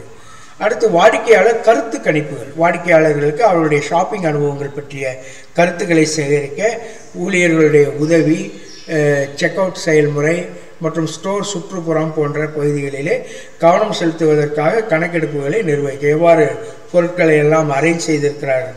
அதைத்தான் ஸ்டோர் சுற்றுப்புறம் என்று சொல்லுகிறார்கள். இதை இதையெல்லாம் இந்த கணக்கெடுப்புகளை நிர்வகித்தல் அடுத்து கவனிப்பு உற்றுநோக்கல் கவனிக்கத்தக்க வடிவங்கள் அல்லது சிக்கல்களை கண்டறிய கடைச்சூழல் மற்றும் பணியாளர் வாடிக்கையாளர் தொடர்புகளை உச்ச மற்றும் நெரிசல் இல்லாத நேரங்களிலே கவனிக்கவும். ஆவண பகுப்பாய்வு டேட்டா இது டாக்குமெண்ட் அனாலிசிஸ் வாடிக்கையாளர் புகார்கள் பணியாளர் செயல்திறன் அறிக்கைகள் மற்றும் விற்பனை தரவு உள்ளிட்ட ஸ்டோர் பதிவுகளை பகுப்பாய்வு செய்தல். அடுத்து பகுப்பாய்வு தரமான பகுப்பாய்வு. பொதுவான கருப்பொருட்கள் மற்றும் வடிவங்களை அடையாளம் காண நேர்காணல் டிரான்ஸ்கிரிப்டுகள் மற்றும் உற்றுநோக்கு குறிப்புகளை பகுப்பாய்வு செய்தல் தரமான பகுப்பாய்வு. இந்த அளவு பகுப்பாய்வு வாடிக்கையாளர்களுடைய திருப்தி நிலைகளை அளவிடுவதற்கும் வாடிக்கையாளர் கருத்து மற்றும் விற்பனை செயல்திறன் ஆகியவற்றிற்கு இடையே உள்ள தொடர்புகளை அடையாளம் காணவும் கணக்கெடுப்பு பதில்கள் மற்றும் விற்பனை தரவை பகுப்பாய்வு செய்தல். இப்போ இதெல்லாம் செய்த விற்பாடு எவ்வாறு கண்டுபிடிப்புகள் செய்யப்படுகின்றன? என்ன கண்டுபிடிக்கப்படுகிறது? பணியாளர்களுடைய பயிற்சி. ஊழியர்களுக்கு வாடிக்கையாளர் சேவை தரங்களில் போதுமான பயிற்சி இல்லை. இது சீரற்ற சேவை தரத்திற்கு வழிவகுக்கிறது. செக் அவுட் செயல்திறன். செக் அவுட் செயல்முறை மெதுவாக இருப்பதால் நீண்ட காத்திருப்பு நேரங்கள் மற்றும் வாடிக்கையாளர் விரக்தியை ஏற்படுத்துகிறது. ஸ்டோர் லே அவுட் அதான் எவ்வாறு அந்த பொருட்களை எல்லாம் வரிசையாக வைத்திருக்கிறார்கள் என்பது. Store layout store layout இரைச்சலாக இருப்பதால் வாடிக்கையாளர் பொருட்களை எளிதாக கண்டுபிடிப்பதில் சிரமம் ஏற்படுகிறது. என்ன பரிந்துரைகள் கொடுக்கலாம்? பயிற்சி திட்டங்களை செயல்படுத்துதல். வாடிக்கையாளர் சேவை திறன்கள் மற்றும் வாடிக்கையாளர் வினவல்களை திறம்பட கையாளுதல் ஆகியவற்றில் கவனம் செலுத்தும் பணியாளர்களுக்கான விரிவான பயிற்சி திட்டங்களை உருவாக்குதல். செக் அவுட் செயல்முறையை மேம்படுத்துதல். அதிக எண்ணிக்கையிலான செக் அவுட் கவுண்டர்களை அறிமுகப்படுத்தி காத்திருப்பு நேரத்தை குறைக்க வரிசை மேலாண்மை முறையை செயல்படுத்தலாம். ஸ்டோர் தக தளவமைப்பை மறுவடிவமைப்பு செய்தல். ஸ்டோர் தளவமைப்புனா லே அவுட் எவ்வாறு அரேஞ்ச் செய்திருக்கிறார்கள் என்பது ஸ்டோர் தள அமைப்பை மிகவும் வாடிக்கையாளர்களுக்கு ஏற்றதாக மாற்றவும் தயாரிப்புகளை எளிதாக கண்டறிவது மற்றும் இடைக்கெளிகள் குறைவாக இருப்பதை உறுதி செய்யவும் வேண்டும். என்ன முடிவுக்கு வரலாம்? இலக்கு தலையீடுகள் மூலம் அடையாளம் காணப்பட்ட சிக்கல்களை தீர்ப்பதன் மூலம் பிரைட்மார்ட் அதன் வாடிக்கையாளர் சேவையை மேம்படுத்த முடியும். இது வாடிக்கையாளர் திருப்தி மற்றும் விசுவாசத்தை அதிகரிக்க வழிவகுக்கும். பிரைட்மார்ட் எதிர்கொள்ளும் குறிப்பிட்ட சவால்கள் பற்றிய விரிவான சூழலியல் பகுப்பாய்வை இது அனுமதிக்கிறது. மற்றும் அதன் வாடிக்கையாளர் சேவை நடைமுறைகளை மேம்படுத்துவதற்கு செயல்படக்கூடிய நுண்ணறிவுகளை வழங்குகிறது. அடுத்து செயல் ஆராய்ச்சி முறைக்கு செல்வோம். செயல் ஆராய்ச்சி முறை என்பது என்ன? செயல் ஆராய்ச்சி என்பது நடைமுறை சிக்கல்களை தீர்க்க ஆராய்ச்சி மற்றும் செயலை ஒருங்கிணைக்கிறது இது திட்டமிடல் செயல் கவனிப்பு மற்றும் பிரதிபலிப்பு ஆகியவற்றிய சுழற்சி செயல்முறையை பின்பற்றுகிறது. ஆராய்ச்சியாளர்கள் பங்குதாரர்களுடன் இணைந்து சிக்கல்களை கண்டறிந்து தீர்வுகளை செயல்படுத்தி நிலைமையை மீண்டும் மேம்படுத்துவதற்கான விளைவுகளை மதிப்பீடு செய்கிறார்கள். பள்ளி அமைப்பில் செயல் ஆராய்ச்சிக்கான எளிய எடுத்துக்காட்டு இங்கே. எடுத்துக்காட்டு வகுப்பறையில் மாணவர் ஈடுபாட்டை மேம்படுத்துவது தான் எடுத்துக்காட்டு. வகுப்பறையில் மாணவர் ஈடுபாட்டை மேம்படுத்துதல். ஸ்டேஜ் ஒன்று ஒரு சிக்கலை அடையாளம் காணுதல். ஒரு ஆசிரியர் தனது வகுப்பில் உள்ள மாணவர்கள் பெரும்பாலும் பாடம் நடத்தும்போது சுறுசுறுப்பாக பங்கேற்பதில்லை என்பதை கவனிக்கிறார். இதான் ஒரு சிக்கலை அடையாளம் காண்பது படி ஒன்று. படி ரெண்டு ஸ்டேஜ் டூ திட்டம். திட்டம் திட்டுதல் மாணவர் ஈடுபாட்டை அதிகரிக்க ஒரு புதிய கற்பித்தல் உத்தியை செயல்படுத்த ஆசிரியர் முடிவு செய்கிறார். பாரம்பரிய விரிவுரைகளுக்கு பதிலாக குழு விவாதங்கள் மற்றும் நேரடி திட்டங்கள் போன்ற அதிக ஊடாடும் செயல்பாடுகளை பயன்படுத்த அவர் திட்டமிடுகின்றார். அடுத்து சட்டம். ஆசிரியர் ஒரு மாத காலப்பகுதியில் தனது வகுப்பறையில் புதிய கற்பித்தல் உத்தியை செயல்படுத்துகிறார். அவர் தனது பாடத்திட்டங்களிலே குழு விவாதங்கள் செயல் திட்டங்கள் மற்றும் பிற ஊடான செயல்பாடுகளை இணைத்துக்கொள்ளார் சில வழிமுறைகள் உத்திகளை சிறப்பாக நினைத்து பார்ப்பது தான் இந்த ஸ்டேஜ் த்ரீ அடுத்து ஸ்டேஜ் ஃபோர் கவனித்தல். மாதம் முழுவதும் புதிய கற்பித்தல் முறைகளுக்கு மாணவர்கள் எவ்வாறு பதிலளிக்கிறார்கள் என்பதை ஆசிரியர் கவனித்து பதிவு செய்கிறார். மாணவர் பங்கேற்பு உற்சாகம் மற்றும் ஒட்டுமொத்த ஈடுபாடு ஆகியவற்றில் ஏற்படும் மாற்றங்களை அவர் குறிப்பிடுகிறார். அப்படி ஐந்து பிரதிபலித்தல். மாத இறுதியில் ஆசிரியர் தனது உற்று நோக்கல்களை மதிப்பாய்வு செய்து மாணவர்களிடமிருந்து கருத்துக்களை சேகரிக்கிறார். அவர் புதிய கற்பித்தல் அந்த கற்பித்தல் நோக்கத்தினுடைய செயல்திறனை பிரதிபலிக்கிறார். மற்றும் எது நன்றாக வேலை செய்தது எது எதை மேம்படுத்தலாம் என்று அவர் கருத்தில் கொள்கின்றார். அடுத்து மறுபரிசீலனை தான் ஸ்டேஜ் சிக்ஸ் அவரது பிரதிபலிப்புகள் மற்றும் மாணவர் கருத்துக்களின் அடிப்படையில் ஆசிரியர் தனது கற்பித்தல் உத்தியில் மாற்றங்களை செய்கிறார். அவர் குழு விவாதங்கள் மற்றும் செயல் திட்டங்களை தொடர்ந்து பயன்படுத்த முடிவு செய்கிறார். ஆனால் மாணவர்களை மேலும் ஈடுபடுத்துவதற்கு மேலும் காட்சி கருவிகள் மற்றும் நிஜ வாழ்க்கை உதாரணங்களை இணைக்க திட்டமிடுகின்றார். படி ஏழு என்பது ரெப்படிஷன் மீண்டும் செய்தல். ஆசிரியர் திட்டமிடுதல் செயல்படுதல் உற்றுநோக்கல் பிரதிபலித்தல் மற்றும் திருத்தல் ஆகியவற்றின் சுழற்சியை தொடர்கின்றார். மாணவர் ஈடுபாட்டை மேம்படுத்துவதற்காக தனது கற்பித்தல் முறைகளை தொடர்ந்து மேம்படுத்துகிறார். செயலாராய்ச்சியுடைய இந்த செயல்முறையானது மாணவர்களுடைய ஈடுபாட்டின் சிக்கலை முறையாக தீர்க்கவும் புதிய உத்திகளை சோதிக்கவும் தனது கற்பித்தல் நடைமுறைகளை மேம்படுத்த தரவு சார்ந்த முடிவுகளை எடுக்கவும் ஆசிரியர் இது அனுமதி அனுமதிக்கிறது qualitative you know decision making இனவியல் முறை. எத்னோகிராஃபி என்பது ஒரு குறிப்பிட்ட கலாச்சாரம் சமூகம் அல்லது சமூக மற்றும் கலாச்சார இயக்கவியலை ஒரு உள் பார்வையிலிருந்து புரிந்து கொள்வதற்கான அமைப்பில் ஆழ்ந்த மற்றும் நீடித்த ஈடுபாட்டை உள்ளடக்கியது. ஆய்வு செய்யப்பட்ட குழுவின் கலாச்சாரம் மற்றும் நடைமுறைகள் பற்றிய ஆழமான நுண்ணறிவுகளை பெற ஆராய்ச்சியாளர்கள் பங்கேற்பாளர் கண்காணிப்பு நேர்காணல் மற்றும் கலைப்பொருள் ஆகியவற்றை பகுப்பா கலைப்பொருள் பகுப்பாய்வு ஆகியவற்றை நடத்துகிறார்கள் சில கேள்விகளை முன்வைப்போம்.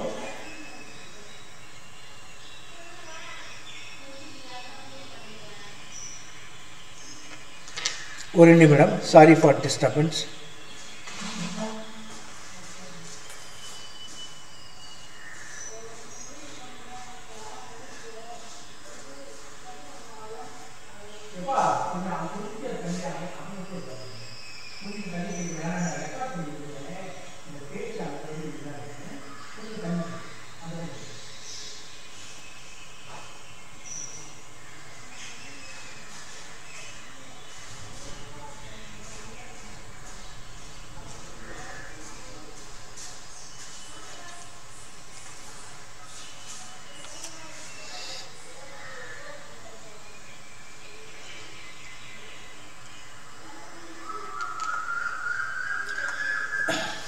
sorry for disturbance ஆராய்ச்சியில் எத்னோகிராஃபியினுடைய முதன்மை கவனம் என்ன?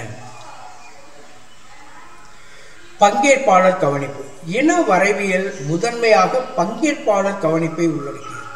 உள்ளடக்கியது. அங்கு ஆராய்ச்சியாளர்கள் தாங்கள் படிக்கும் கலாச்சாரம் அல்லது சமூகத்தில் ஆழ்ந்து புரிந்து கொள்வதற்காக மூழ்கி விடுகிறார்கள். எந்த ஆராய்ச்சி அணுகுமுறை இனவியல் மிகவும் நெருக்கமாக தொடர்புடைய எந்த ஆராய்ச்சி அணுகுமுறை இனவியலில் மிகவும் நெருக்கமாக தொடர்புடையது?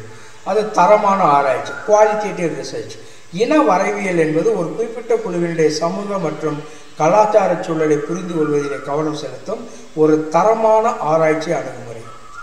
பின் வருவனவற்றில் எது இன வரவியல் ஆராய்ச்சியினுடைய முக்கிய உறுப்பு அல்ல? என்று சொன்னால் அது சர்வே ஆய்வுகள். ஆய்வுகள் இனவியல் ஆராய்ச்சியின் முக்கிய பங்கு அல்ல முக்கிய அங்கம் அல்ல. மாறாக இன வரைவியல் நேரடியான தரமான தரவு சேகரிப்பு முறைகளை நம்பியிருக்கிறது.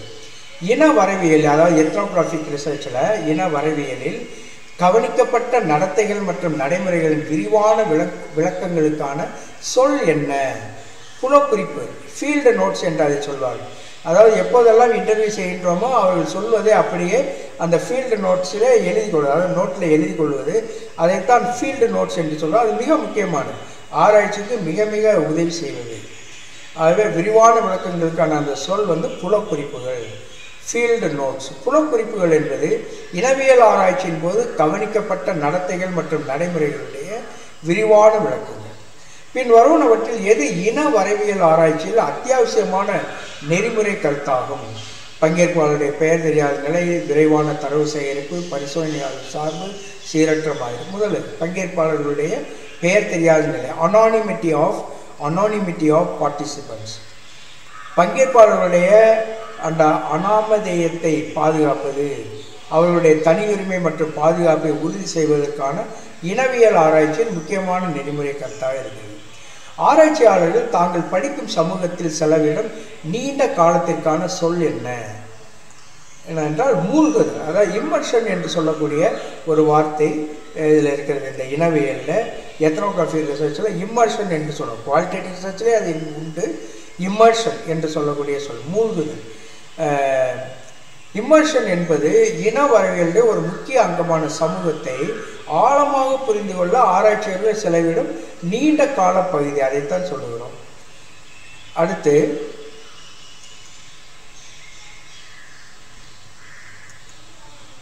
பின்வருவனவற்றில் எத்னோகோஃபியல் பயன்படுத்தப்படும் பொதுவான தரவு சேகரிப்பு முறை என்ன? பங்கேற்பாளர் கவனிப்பு. பங்கேற்பாளர் கண்காணிப்பு அங்கு ஆராய்ச்சியாளர்கள் தீவிரமாக ஈடுபடுகிறார்கள் மற்றும் பங்கேற்பாளர்களை கவனிக்கிறார்கள். இது இன வரவியலில் ஒரு பொதுவான முறை.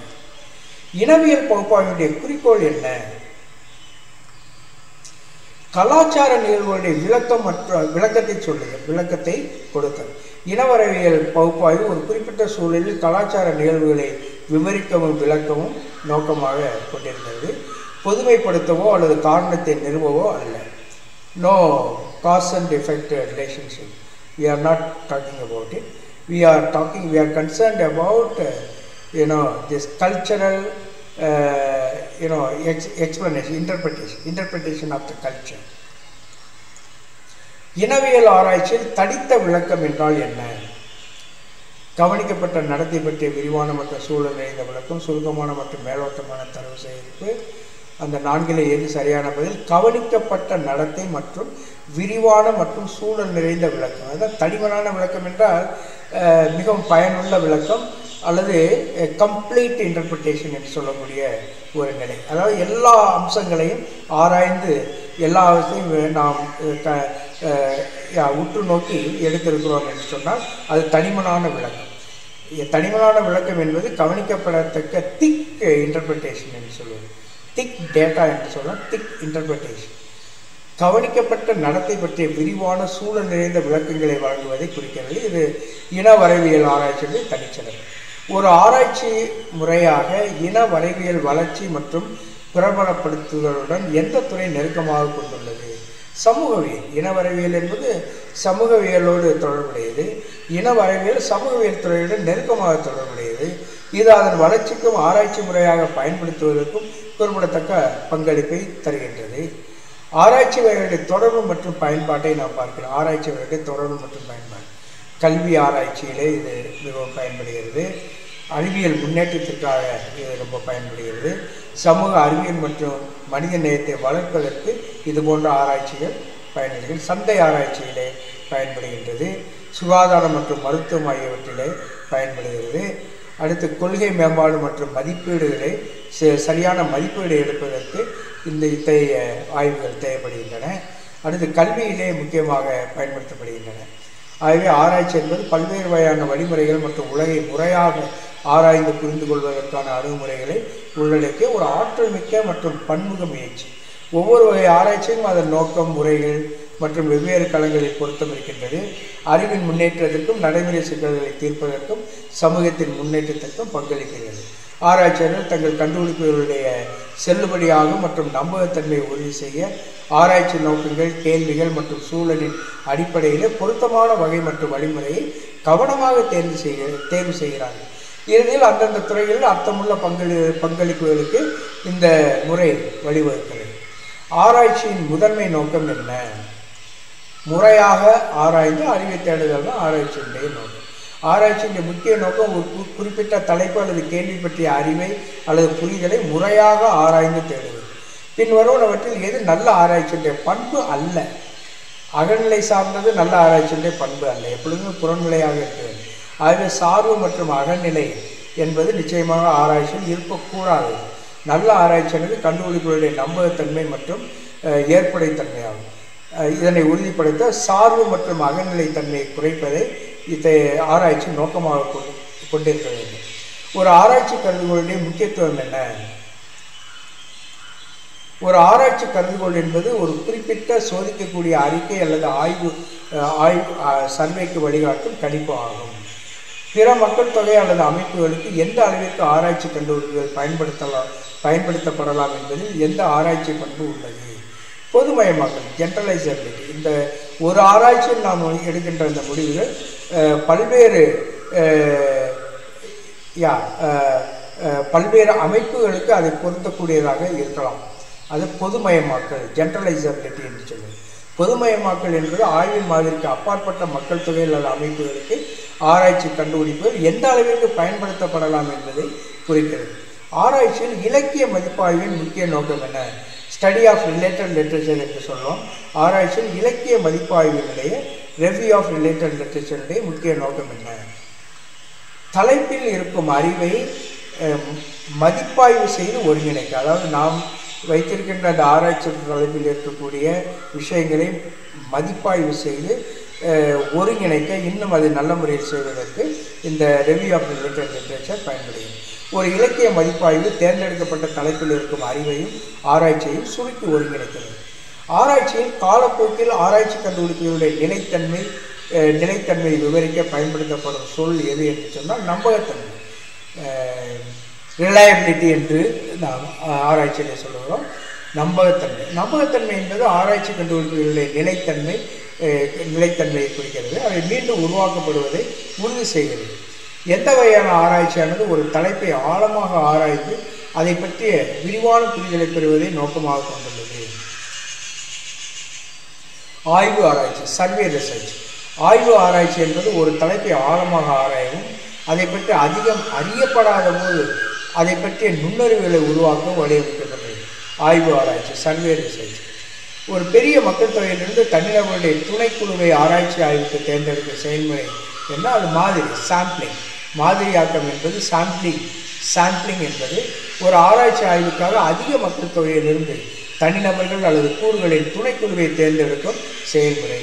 தனிப்பட்ட சார்பு மற்றும் உணர்ச்சிகளிலிருந்து விடுபட ஆராய்ச்சியின் அவசியத்தை எந்த ஆராய்ச்சி பங்கு வலியுறுத்துகிறது? புறநிலை. தனிப்பட்ட சார்பிலிருந்து விடுவதற்கு புறநிலை தான் ரொம்ப தேவை ஆய்வினுடைய நம்பத்தன்மை மற்றும் பக்கச்சார்பற்ற தன்மையை பேணுவதற்கு தனிப்பட்ட சார்பு அல்லது உணர்ச்சிகள் இல்லாமல் ஆராய்ச்சி நடத்துவதன் முக்கியத்துவத்தை ஆராய்ச்சியில் உள்ள புறநிலை எடுத்துக்காட்டுகிறது. அப்ஜெக்டிவிட்டி என்ற ரிசர்ச் என்று சொல்லுகிறோமே அது ஆராய்ச்சியினுடைய முதன்மை நோக்கம் என்ன?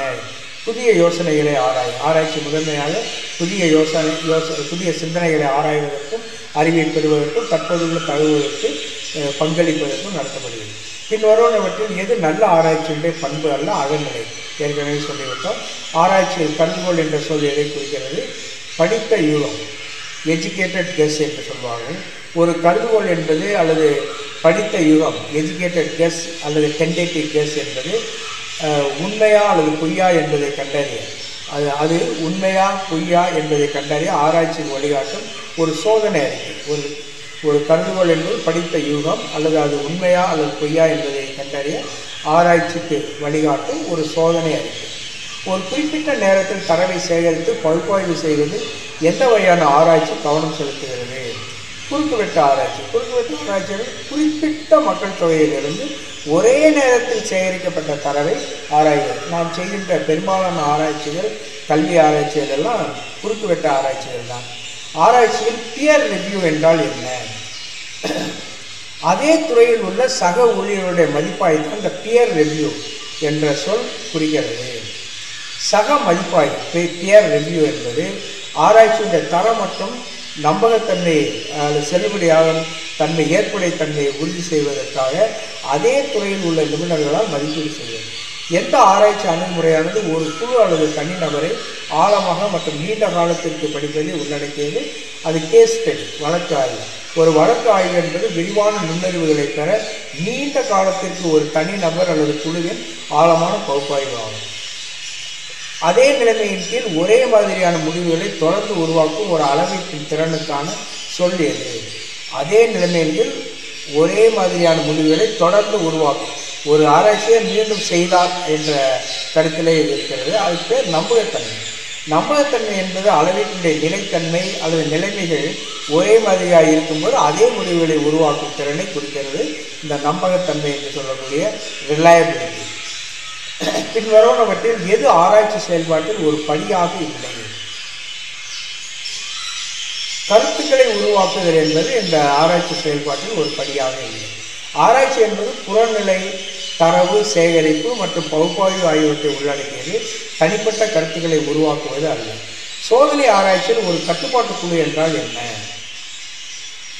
சோதனை சிகிச்சையை பெறாத ஒப்பீட்டுக்கு பயன்படு பெறாத ஒப்பீட்டுக்கு பயன்படுத்தப்படும் குழு நான் ஏற்கனவே சொல்லியிருக்கேன் மீடியா எஜுகேஷன் ஒரு குழுவிற்கு தரப்படுகிறது இன்னொரு குழுவிற்கு தரப்படவில்லை என்றால் தரப்படாத குழுவிற்கு பெயர் தான் இந்த இ- என்பது. கட்டுப்பாட்டுக்குழு என்பதற்கு எந்த ட்ரீட்மெண்ட்டும் அது கிடையாது. அது ஒ- ஒரே ஒரு விஷயத்திற்கு ஆனால் மிக முக்கியமான விஷயத்திற்கு அதை பயன்படுத்துவது ஒப்பீட்டு ஒப்பீ ஒப்பீடு செய்வது. மீடியா எஜுகேஷனால் பயன் இருக்கிறது இல்லை என்பதை நாம் சரியாக கணிப்பதற்கு இந்த கட்டுப்பாட்டுக்குழு பயன்படுகிறது. ஆராய்ச்சியில் நேர்மறைவாதம் நான் இப்பொழுது அடுத்த கருத்தியலுக்கு செல்லுகிறோம். சிலபஸில் இருக்கக்கூடிய முக்கியமான கான்செப்ட் ஆராய்ச்சி நேர்மறைவாதம் பாசிட்டிவிசம் பாசிட்டிவிசம் என்பது ஒரு தத்துவ மற்றும் அறிவாற்றல் கட்டமைப்பு. இது ஆராய்ச்சி துறையில் குறிப்பாக இயற்கை மற்றும் சமூக அறிவியலில் குறிப்பிடத்தக்க தாக்கத்தை ஏற்படுத்தியிருக்கிறது.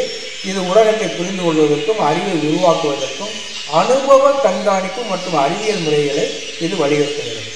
பாசிட்டிவிசனுடைய வரலாற்று வளர்ச்சியை பார்க்க முடியும். பத்தொன்பதாம் நூற்றாண்டிலே பாசிட்டிவிசம் தோன்றியது.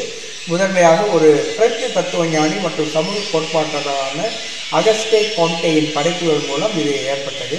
காம்டே சமூகத்தை படிப்பதில் ஒரு முறையான மற்றும் அனுபவ அணுகுமுறையை கற்பனை செய்தார். மேலும் இயற்கை அறிவியல் பயன்படுத்தப்படும் அதே முறையில் சமூக மண்டலத்திற்கும் பயன்படுத்தப்படலாம் என்று நம்பினார். அவர் அறிவியலுடைய படிநிலையை முன்மொழித்தார் சமூகவியல் மிக உயர்ந்தது. மேலும் சமூகத்தின் சட்டங்களை புரிந்து கொள்வது அதன் முன்னேற்றத்துக்கு வழிவகுக்கும் என்று வலியுறுத்தினார். காம்டேயுடைய கருத்துக்கள் பாசிட்டிவிசத்திற்கான அடித்தளத்தை அளித்தன. அவதானிக்கக்கூடிய மற்றும் அளவிடக்கூடிய நிகழ்வுகள் புறநிலை தரவு சேகரிப்பு மற்றும் சமூக இயக்கவியலை பகுப்பாய்வு செய்வதற்கான அறிவியல் அணுகுமுறை ஆகியவற்றின் முக்கியத்துவத்தை வலியுறுத்தியது. பின்னர் எமிலி டக்கேன் பால் பாப்பர் போன்ற சிந்தனையாளர்கள் இந்த கருத்துக்களை மேலும் செம்மைப்படுத்தி விரிவுபடுத்தினார்கள். அடி நேர்மறை வாழ்த்துடைய அடிப்படை கோட்பாடுகள் என்னன்னா அனுபவ அவதானம் உற்றுநோக்கு. அனுபவ உற்றுநோக்கு. நேர்மறைவாதமானது நிகழ்வுடைய நேரடியான உற்றுநோக்குகள் மற்றும் அளவீடு ஆகியவற்றிலிருந்து பெறப்பட்ட அனுபவ சான்றுகளை அடிப்படையாக கொண்டது. ஆராய்ச்சியாளர்கள் புறநிலை மற்றும் உண்மை தரவை சேகரிக்க முயற்சி செய்கிறார்கள். இது கண்டுபிடிப்புகளுடைய பிரதிபலிப்பு மற்றும் சரிபார்ப்புக்கு அனுமதிக்கிறது. இது ஒரு அறிவியல் முறையாக கருதப்படுகிறது. கருதுகோள் உருவாக்கம் தரவு சேகரிப்பு பகுப்பாய்வு மற்றும் விளக்கம் ஆகியவற்றுக்கான முறையான நடைமுறைகளை உள்ளடக்கிய பாசிட்டிவிட்டி ஆராய்ச்சி அறிவியல் முறையை பின்பற்றுகிறது ஆராய்ச்சிக்கான கட்டமைக்கப்பட்ட மற்றும் ஒழுங்கமைக்கப்பட்ட அணுகுமுறையை இது உறுதி செய்கிறது குறிக்கோள் என்று வைத்துக் கொண்டால் பாசிட்டிவிசம் ஆய்வாளர்களின் நடுநிலைமை மற்றும் ஆய்வு பாடத்திலிருந்து பற்றின்மை தனிப்பட்ட சார்பு மற்றும் விளக்கங்களை குறைப்பதை நோக்கமாக கொண்டது. ரொம்ப அப்ஜெக்டிவ் என்று சொன்னாலே பர்சனல் லைக்ஸ் அண்ட் டிஸ்லைக்ஸ் என்பது அங்கு வராது. நம்பகமான மற்றும் செல்லுபடியாகும் முடிவுகளை பெறுவதற்கு புறநிலை அவசியமாக கருதப்படுகிறது. அடுத்த அளவு பகுப்பாய்வு குவான்டிடேட்டிவ் அனாலிசிஸ் நேர்மறை ஆராய்ச்சி பெரும்பாலும் அளவு முறைகளை பயன்படுத்துகிறது. எண் தரவு மற்றும் புள்ளி விவர பகுப்பாய்வு ஆகியவற்றை வலியுறுத்துகிறது இது துல்லியமான அளவீடு மற்றும் மாறிகளின் ஒப்பீடு ஆகியவற்றை எளிதாக்குகிறது. கண்டுபிடிப்புகளுடைய பொதுமைப்படுத்தலுக்கு பங்களிக்கிறது.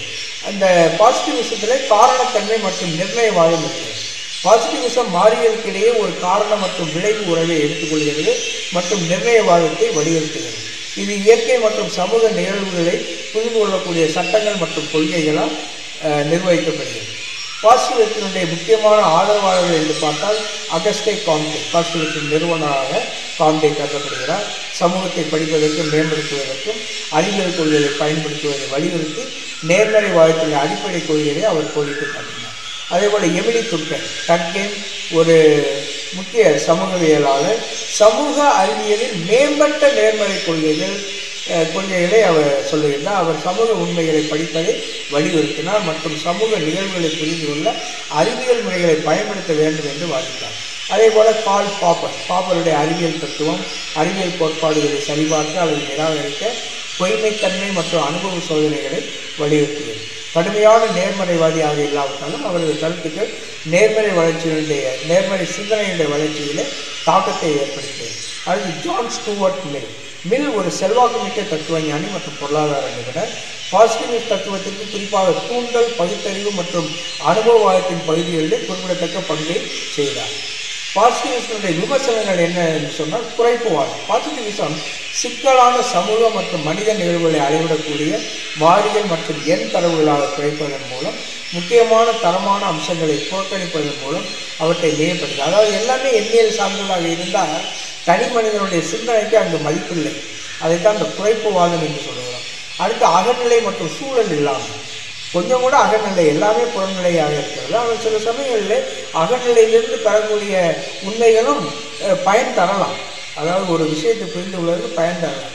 அது அந்த சூழல் இங்கே இல்லை அகநிலை இல்லை.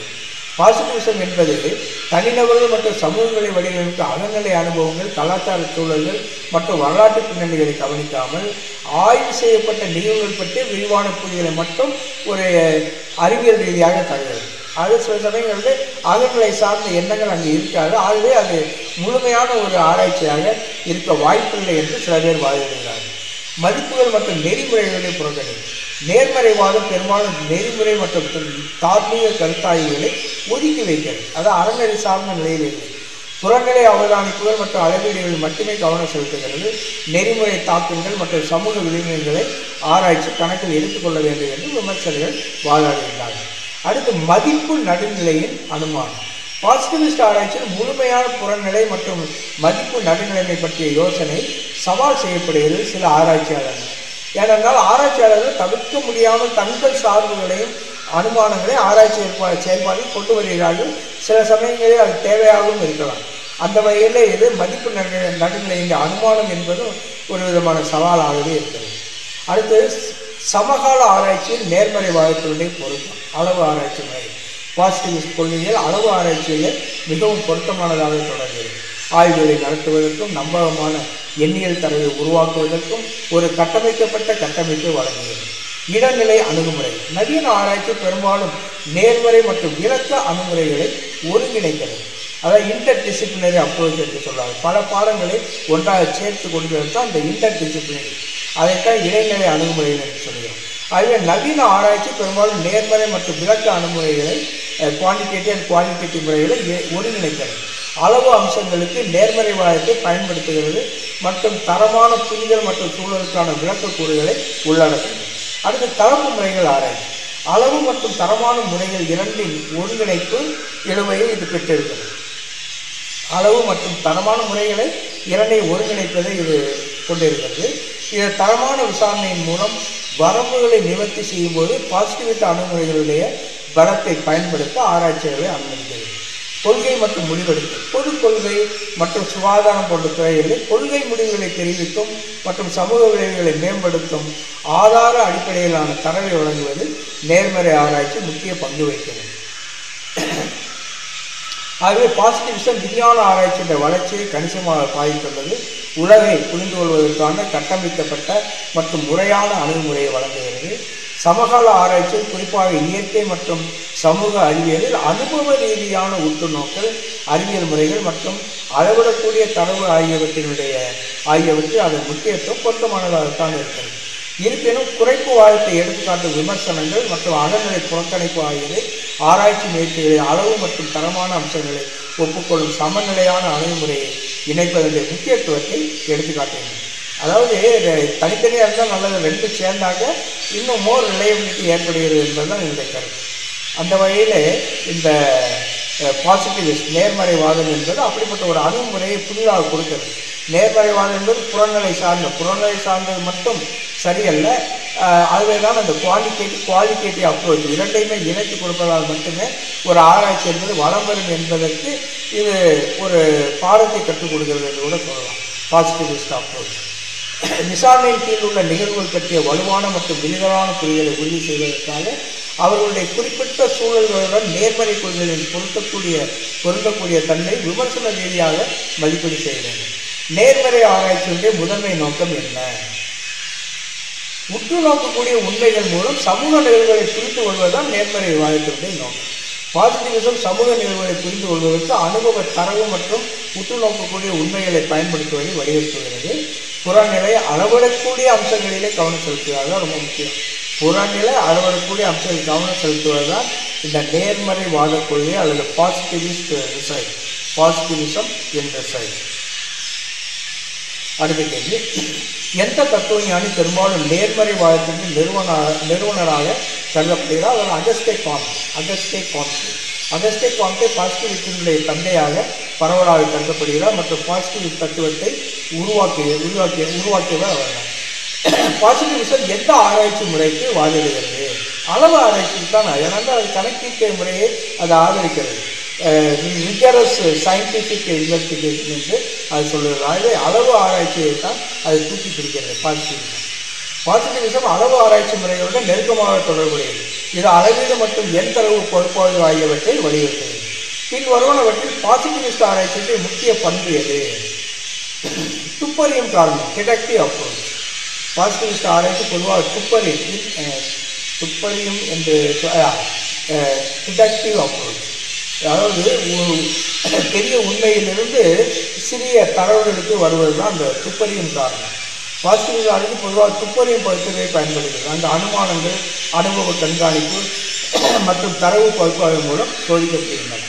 நேர்மறை ஆராய்ச்சி தனிப்பட்ட சார்பு மற்றும் உணர்ச்சிகளுடைய பங்கு என்ன? அவை ஒப்புக்கொள்ளப்பட்டவை ஆனால் குறைக்கப்பட்டுள்ளன.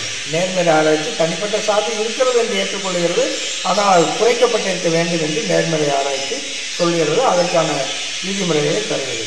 நேர்மறை ஆராய்ச்சி தனிப்பட்ட சார்பு மற்றும் உணர்ச்சிகளை ஒப்புக்கொள்கிறது ஆனால் புறநிலை தரவு சேகரிப்பு மற்றும் பகுப்பாய்வு மூலம் அவர்களுடைய தாக்கத்தை குறைக்க முடிகிறது பின்வரும் எந்த ஆராய்ச்சி வடிவமைப்பு பொதுவாக நேர்மறை வாதத்துடன் தொடர்புடையது? சீரற்ற கட்டுப்பாட்டு சோதனை ரேண்டமைஸ்டு கண்ட்ரோல்டு ட்ரையல்ஸ் என்று சொல்வது. பாசிட்டிவிசத்தில் ஒரு பொதுவான ஆராய்ச்சி வடிவமைப்பு இது. சோதனை மற்றும் அளவு முறைகளிலே கவனம் செலுத்துகிறது. பாசிட்டிவிசம் ஆய்வாளர்களின் முன்னோக்கிலிருந்து சுதந்திரமாக சுதந்திரமாக சுதந்திர சுதந்திரமாக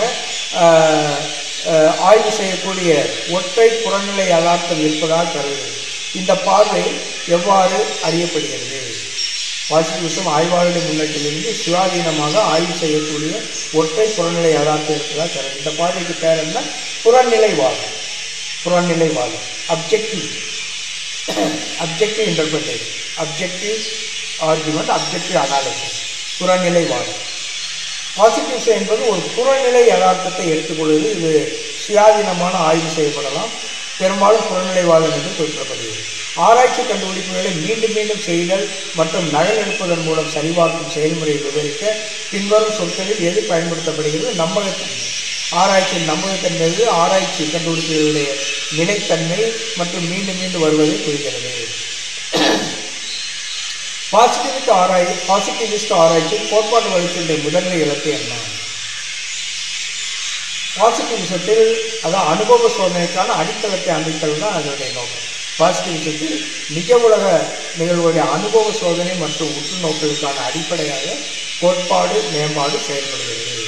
அடுத்து பிந்தைய நேர்மறை அணுகுமுறை இதுவும் அதாவது இதுவரைக்கும் பாசிட்டிவிஸ்ட் அப்ரோச்சை பார்த்தோம். இப்பொழுது பிந்தைய நேர்மறை அணுகுமுறை அல்லது யூனோ போஸ்ட் பாசிட்டிவிஸ்ட் அப்ரோச் என்று சொல்வது பாசிட்டிவிசத்திற்கு பிந்தைய அணுகுமுறை என்பது ஆராய்ச்சி ஒரு தத்துவ நிலைப்பாடு. இது நேர்மறைவாதத்தினுடைய எதிராக அல்லது விமர்சனமாக வெளிப்படும். நேர்மறைவாதம் புறநிலை உண்மைகளை வெளிக்கொணர அனுபவ ரீதியான அவ அவதானிப்பு மற்றும் அளவிடக்கூடிய ஆதாரங்களை வலியுறுத்தியது இருந்தாலும் ஆராய்ச்சி செயல்பாட்டில் அகநிலை மற்றும் விளக்கத்தின் பங்கை போஸ்ட் பாசிட்டிவிசம் ஒப்புக்கொள்கிறது. பிந்தைய பாசிட்டிவிசத்தினுடைய அடித்தளங்கள் என்ன? பாசிட்டிவிசத்தினுடைய வரம்புகளுக்கு விடையிறுப்பாக இருபதாம் நூற்றாண்டின் நடுப்பகுதியில் பிந்தைய நேர்மறைவாதம் இருந்தது. பாசிட்டிவிசம் அகஸ்டை காம்டனுடைய படைப்புகளை அடிப்படையாக கொண்டது. சமூக நிகழ்வுகளுக்கு அறிவியல் கொள்கைகளை பயன்படுத்த முயன்றது. தாமஸ் போன் மற்றும் கால் பாப்பர் போன்ற தத்துவவாதிகள் உட்பட பிந்தைய நேர்மறைவாதிகள் ஒரு புறநிலை நடுநிலை பார்வையாளர்களுடைய கருத்தை சவால் செய்தனர் மற்றும் அவதானிப்புகளில் முன்னுதாரணங்கள் மற்றும் கோட்பாடுகளுடைய செல்வாக்கை வலியுறுத்தினர். இதில் ஆண்டாலஜி மற்றும் எபிஸ்டமலாஜி என்ற ஒரு கான்செப்ட் இருக்கிறது. யதார்த்தம் சிக்கலானது மற்றும் பன்முகத்தன்மை கொண்டது. ஆண்டாலஜி என்பது இந்த யதார்த்த உலகம். யதார்த்தம் சிக்கலானது மற்றும் பன்முகத்தன்மை கொண்டது என்பதை பிந்தைய நேர்மறைவாதிகள் அங்கீகரிக்கின்றனர். அனுபவ ரீதியான அவதானத்தின் மூலம் முழுமையாக புரிந்து கொள்ளக்கூடிய ஒற்றை புறநிலை யதார்த்தம் என்ற கருத்தை அவர் நிராகரிக்கிறார். அதாவது எல்லாமே அறிவியல் ரீதியாக செய்திட முடியாது என்று சொல்லுகிறார். வேறொன்றும் விளக்கத்தில் மனித அதனுடைய பங்கை அவர்கள் ஒப்புக்கொள்கிறார்கள். இந்த பிந்தைய நேர்மறைவாத கொள்கைவாதிகள். அகநிலை மற்றும் விளக்கம். உற்றுநோக்கங்கள் மற்றும் விளக்கங்களை வடிவமைப்பது ஆராய்ச்சியுடைய அகநிலையுடைய பங்கை பிந்தைய நேர்மறைவாதிகள் வலியுறுத்தினர். அகநிலையும் இருக்கலாம். அவரும் ஒரு ஆராய்ச்சியாளருடைய தனிப்பட்ட கருத்துக்களும் அவர் நன்றாக ஆராய்ந்து அனுபவ ரீதியாக ஏதாவது ஒன்றை நன்றாக சொல்லலாம். அதைத்தான் இவர் இந்த பிந்தைய நேர்மறைவாதிகள் வலியுறுத்திவிட்டார் அகநிலை மற்றும் விளக்கம் ஆராய்ச்சியாளர்கள் தங்கள் சார்பு மற்றும் முன்னோக்குகளை ஒப்புக்கொள்கிறார்கள். மேலும் வெளிப்படையான மற்றும் பிரதிபலிப்பு ஆராய்ச்சி செயல்முறையை நோக்கமாக கொண்டிருக்கின்றார்கள். பகுதி உண்மை மற்றும் நம்பகத்தன்மை. முழுமையான உண்மை அடைவது சாத்தியமில்லை என்று பிந்தைய நேர்மறைவாதிகள் நம்புகின்றார்கள். அவர்கள் என்ன சொன்னார்கள்? அறிவியல் ரீதியாக முழுமையான உண்மையை அடைந்து விடலாம் என்று நேர்மறைவாதிகள் சொன்னார்கள். ஆனால் பிந்தைய நேர்மறைவாதிகள் முழுமையான உண்மை அடைவது சாத்தியமில்லை என்று நம்புகிறார்கள். ஆய்வு கண்டுபிடிப்புகள் யதார்த்தத்தினுடைய தோராயமாக பார்க்கப்படுகின்றன. திருத்தம் மற்றும் மேம்பாட்டிற்கு உட்பட்டது அதாவது ஆய்வுகள் திருத்தம் மற்றும் மேம்பாட்டிற்கு உட்பட்டது என்று பிந்தைய நேர்மறைவாதிகள் சொல்கிறார்கள் விஞ்ஞான முறையானது சோதனை சுத்திகரிப்பு மற்றும் சாத்தியமான நிராகரி நிராகரிப்புக்கு உட்பட்ட கோட்பாடுகளை உருவாக்குவதற்கான ஒரு கருவியாக பார்க்கப்படுகிறது. விஞ்ஞான முறையானது எந்த அளவிற்கு இதை பயன்படுத்தலாம் என்று இந்த பிந்தைய நேர்மறைவாதிகள் சொல்கிறார்கள் என்று சொன்னால் விஞ்ஞான முறையானது சோதனை சுத்திகரிப்பு மற்றும் சாத்தியமான நிராகரிப்புக்கு உட்பட்ட கோட்பாடுகளை உருவாக்குவதற்கான ஒரு கோ- கருவியாக மட்டுமே பார்க்கப்படுகிறது. இந்திய பாசிட்டிவிஸ்ட் ஆராய்ச்சியின் முக்கிய கோட்பாடுகள் விமர்சன யதார்த்தமாகும் இந்திய பாசிட்டிவிஸ்ட் ஆராய்ச்சி என்பது விமர்சன யதார்த்தத்தினுடைய கொள்கையின் அடிப்படையில் செயல்படும்। இது நமது உணவுகளிலிருந்து சுதந்திரமாக இருக்கும் ஒரு அடிப்படை யதார்த்தத்தை ஒப்புக்கொள்கிறது. ஆராய்ச்சியாளர்கள் இந்த யதார்த்தத்தை விமர்சன ஆய்வு மற்றும் விளக்கத்தின் மூலம் புரிந்து கொள்ள முயற்சி செய்கிறார்கள். நமது புரிதல் எப்போதும் பகுதி அளவு அல்லது தவறு செய்யக்கூடியது என்பதை உணர்ந்து கொள்கிறார்கள். அடுத்து பொய்மை மற்றும் சோதனை. பாசிட்டிவிஸ்டை போலவே பிந்தைய பாசிட்டிவிசமும் அனுபவ சோதனை மற்றும் பொய்மை தன்மையை மதிப்பிடுகிறது. இருந்தாலும் கோட்பாடுகள் மற்றும் கல்விகோள்களை ஒருபோதும் உறுதியாக நிரூபிக்க முடியாது என்று பிந்தைய நேர்மறைவாதிகள் வலியுறுத்துகிறார்கள். ஆதாரம் மற்றும் சோதனையின் அடிப்படையில் மட்டுமே அவை ஆதரிக்கப்படலாம் அல்லது பொய்யாக்கப்படலாம் என்று இவர்கள் கூறுகிறார்கள். பல முறைகள் மற்றும் தரவு ஆதாரங்கள். இந்திய நேர்மறை ஆராய்ச்சி பல்வேறு ஆராய்ச்சி முறைகள் மற்றும் தரவு மூலங்களை பயன்படுத்துவதை ஊக்குவிக்கிறது. அவை அளவு மற்றும் தரமானவை. பல்வேறு முறைகளை இணைப்பது புரிதலின் ஆழத்தையும் அகலத்தையும் அதிகரிக்கிறது மற்றும் சிக்கலான நிகழ்வுகளுடைய விரிவான விளக்கத்தை அனுமதிக்கிறது. பிந்தைய பாசிட்டிவிட்ட அணுகுமுறையில் ஆராய்ச்சி முறைகள் கலப்பு முறைகள் ஆராய்ச்சி. பிந்தைய நேர்மறைவான பெரும்பாலும் தரமான மற்றும் அளவு அணுகுமுறைகளை ஒருங்கிணைத்து கலப்பு முறைகள் ஆராய்ச்சியை பயன்படுத்துகிறது. இந்த அணுகுமுறை புள்ளியியல் பகுப்பாய்வை சூழலியல் புரிதலுடன் ஒருங்கிணைப்பதன் மூலம் ஆராய்ச்சி தளத்தை பற்றிய விரிவான புரிதலை செயல்படுத்துகிறது. வழக்கு ஆய்வுகள் கேஸ் ஸ்டடி வழக்கு ஆய்வுகள் பொதுவாக குறிப்பிட்ட நிகழ்வுகளை ஆழமாக ஆராய்வதற்கும் அவற்றை பல கோணங்களில் ஆய்வு செய்வதற்கும் விசாரணையின் கீழ் உள்ள நிகழ்வுகளை நுணுக்கமாக புரிந்து கொள்வதற்கும் பிந்தைய நேர்மறை ஆராய்ச்சியில் பயன்படுத்தப்படுகின்றன. அடுத்து உள்ளடக்க ஆய்வு கான்டென்ட் அனாலிசிஸ் உள்ளடக்க பகுப்பாய்வு உரை காட்சி அல்லது ஆடியோ தரவை பகுப்பாய்வு செய்ய தரவுக்குள் வடிவங்கள் மற்றும் கருப்பொருட்களை அடையாளம் காண பயன்படுகிறது. இந்த முறையானது அதன் சூழலில் தரவை விளக்குவதற்கு அனும அனுமதிப்பதன் மூலம் பிந்தைய நேர்மறை அணுகுமுறையுடன் இது ஒத்துப்போகிறது. பிந்தைய பாசிட்டிவிஸ்ட் அணுகுமுறையுடைய விமர்சனங்கள் சார்பியல் வாதம். ரிலேட்டிவ் ரிலேட்டிவ் பிலாசபினா ரிலேட்டிவ் ஆர்குமெண்ட் சார்பியல் வாதம். அகநிலை மற்றும் விளக்கத்தின் மீதான முக்கியத்துவம் சார்பியல் வாதத்திற்கு வழிவகுக்கும் என்று விமர்சகர்கள் வாங்கியிருந்தார்கள் இது புறநிலை உண்மை என்ற கருத்தை சவால் செய்கிறது மற்றும் அறிவை பின்தொடர்வதை குறை மதிப்பிற்கு உட்படுத்துகிறது. சிக்கலான தன்மை மற்றும் நடைமுறை. பிந்தைய பாசிட்டிவிசத்தால் அங்கீகரிக்கப்பட்ட பல முறைகள் மற்றும் முன்னோக்குகள் ஆராய்ச்சி மிகவும் சிக்கலானதாகவும் செயல்படுத்துவதற்கு சவாலானதாகவும் சவாலாகவும் இருக்கும். இதற்கு அதிக அளவிலான நிபுணத்துவம் மற்றும் வளங்கள் தேவை. சில ஆராய்ச்சி சூழல்களில் இது குறைவான நடைமுறையை உருவாக்குகிறது. இன்றைய பாசிட்டிவிஸ்டான முக்கியத்துவம் என்ன என்று கேட்டால் மேம்படுத்தப்பட்ட புரிதல் அகநிலை பல முன்னோக்குகள் மற்றும் விளக்கம் ஆகியவற்றின் பங்கை ஒப்புக்கொள்வதன் மூலம் சிக்கலான நிகழ்வுகளின் ஆழமான மற்றும் நுணுக்கமான புரிதலுக்கு திட்டைய நேர்மறை அணுகுமுறை அனுமதிக்கிறது. மேம்படுத்தப்பட்ட முறைசார் பன்மைத்துவம். பல்வேறு ஆராய்ச்சி முறைகளுடைய ஒருங்கிணைப்பை ஊக்குவிப்பதன் மூலம் பிந்தைய நேர்மறை அணுகுமுறை முறையியல் பன்மைத்துவத்தை ஊக்குவிக்கிறது. மேலும் விரிவான ஆராய்ச்சி முடிவுகளுக்கு வழிவகுக்கிறது. நெறிமுறை ஆராய்ச்சி நடைமுறை வெளிப்படைத்தன்மை மற்றும் பிர- பிரதிபலிப்புத்தன்மையை வலியுறுத்தும் பிந்தைய பாசிட்டிவிஸ்ட் ஆராய்ச்சி அவைகளுடைய சா சார்பு மற்றும் அகநிலைத்தன்மையை ஒப்புக்கொண்டு நிர்வகிக்க ஆராய்ச்சியாளர்களை ஊக்குவிப்பதன் மூலம் நெறிமுறை ஆராய்ச்சி நடைமுறைகளுக்கு பங்களிக்கிறது. முடிவாக நாம் sorry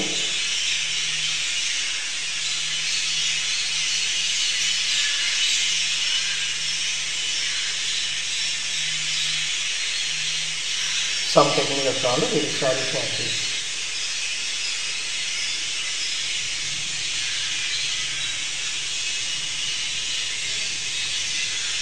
ஏன் திடீரென்று ஓடி வந்திருக்கிறீர்கள் Yeah.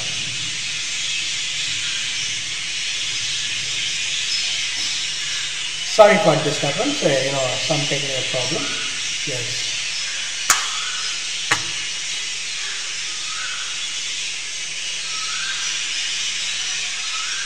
Thank you very much, dear friends. Some technical problem. I am unable to stop that. Maybe some uh, something. But anyway, in the next uh, video, I will be giving uh, the media uh, influence in research and other things, ethics in research. All these things I will be giving in the next video. Thank you for your presence. God bless you abundantly.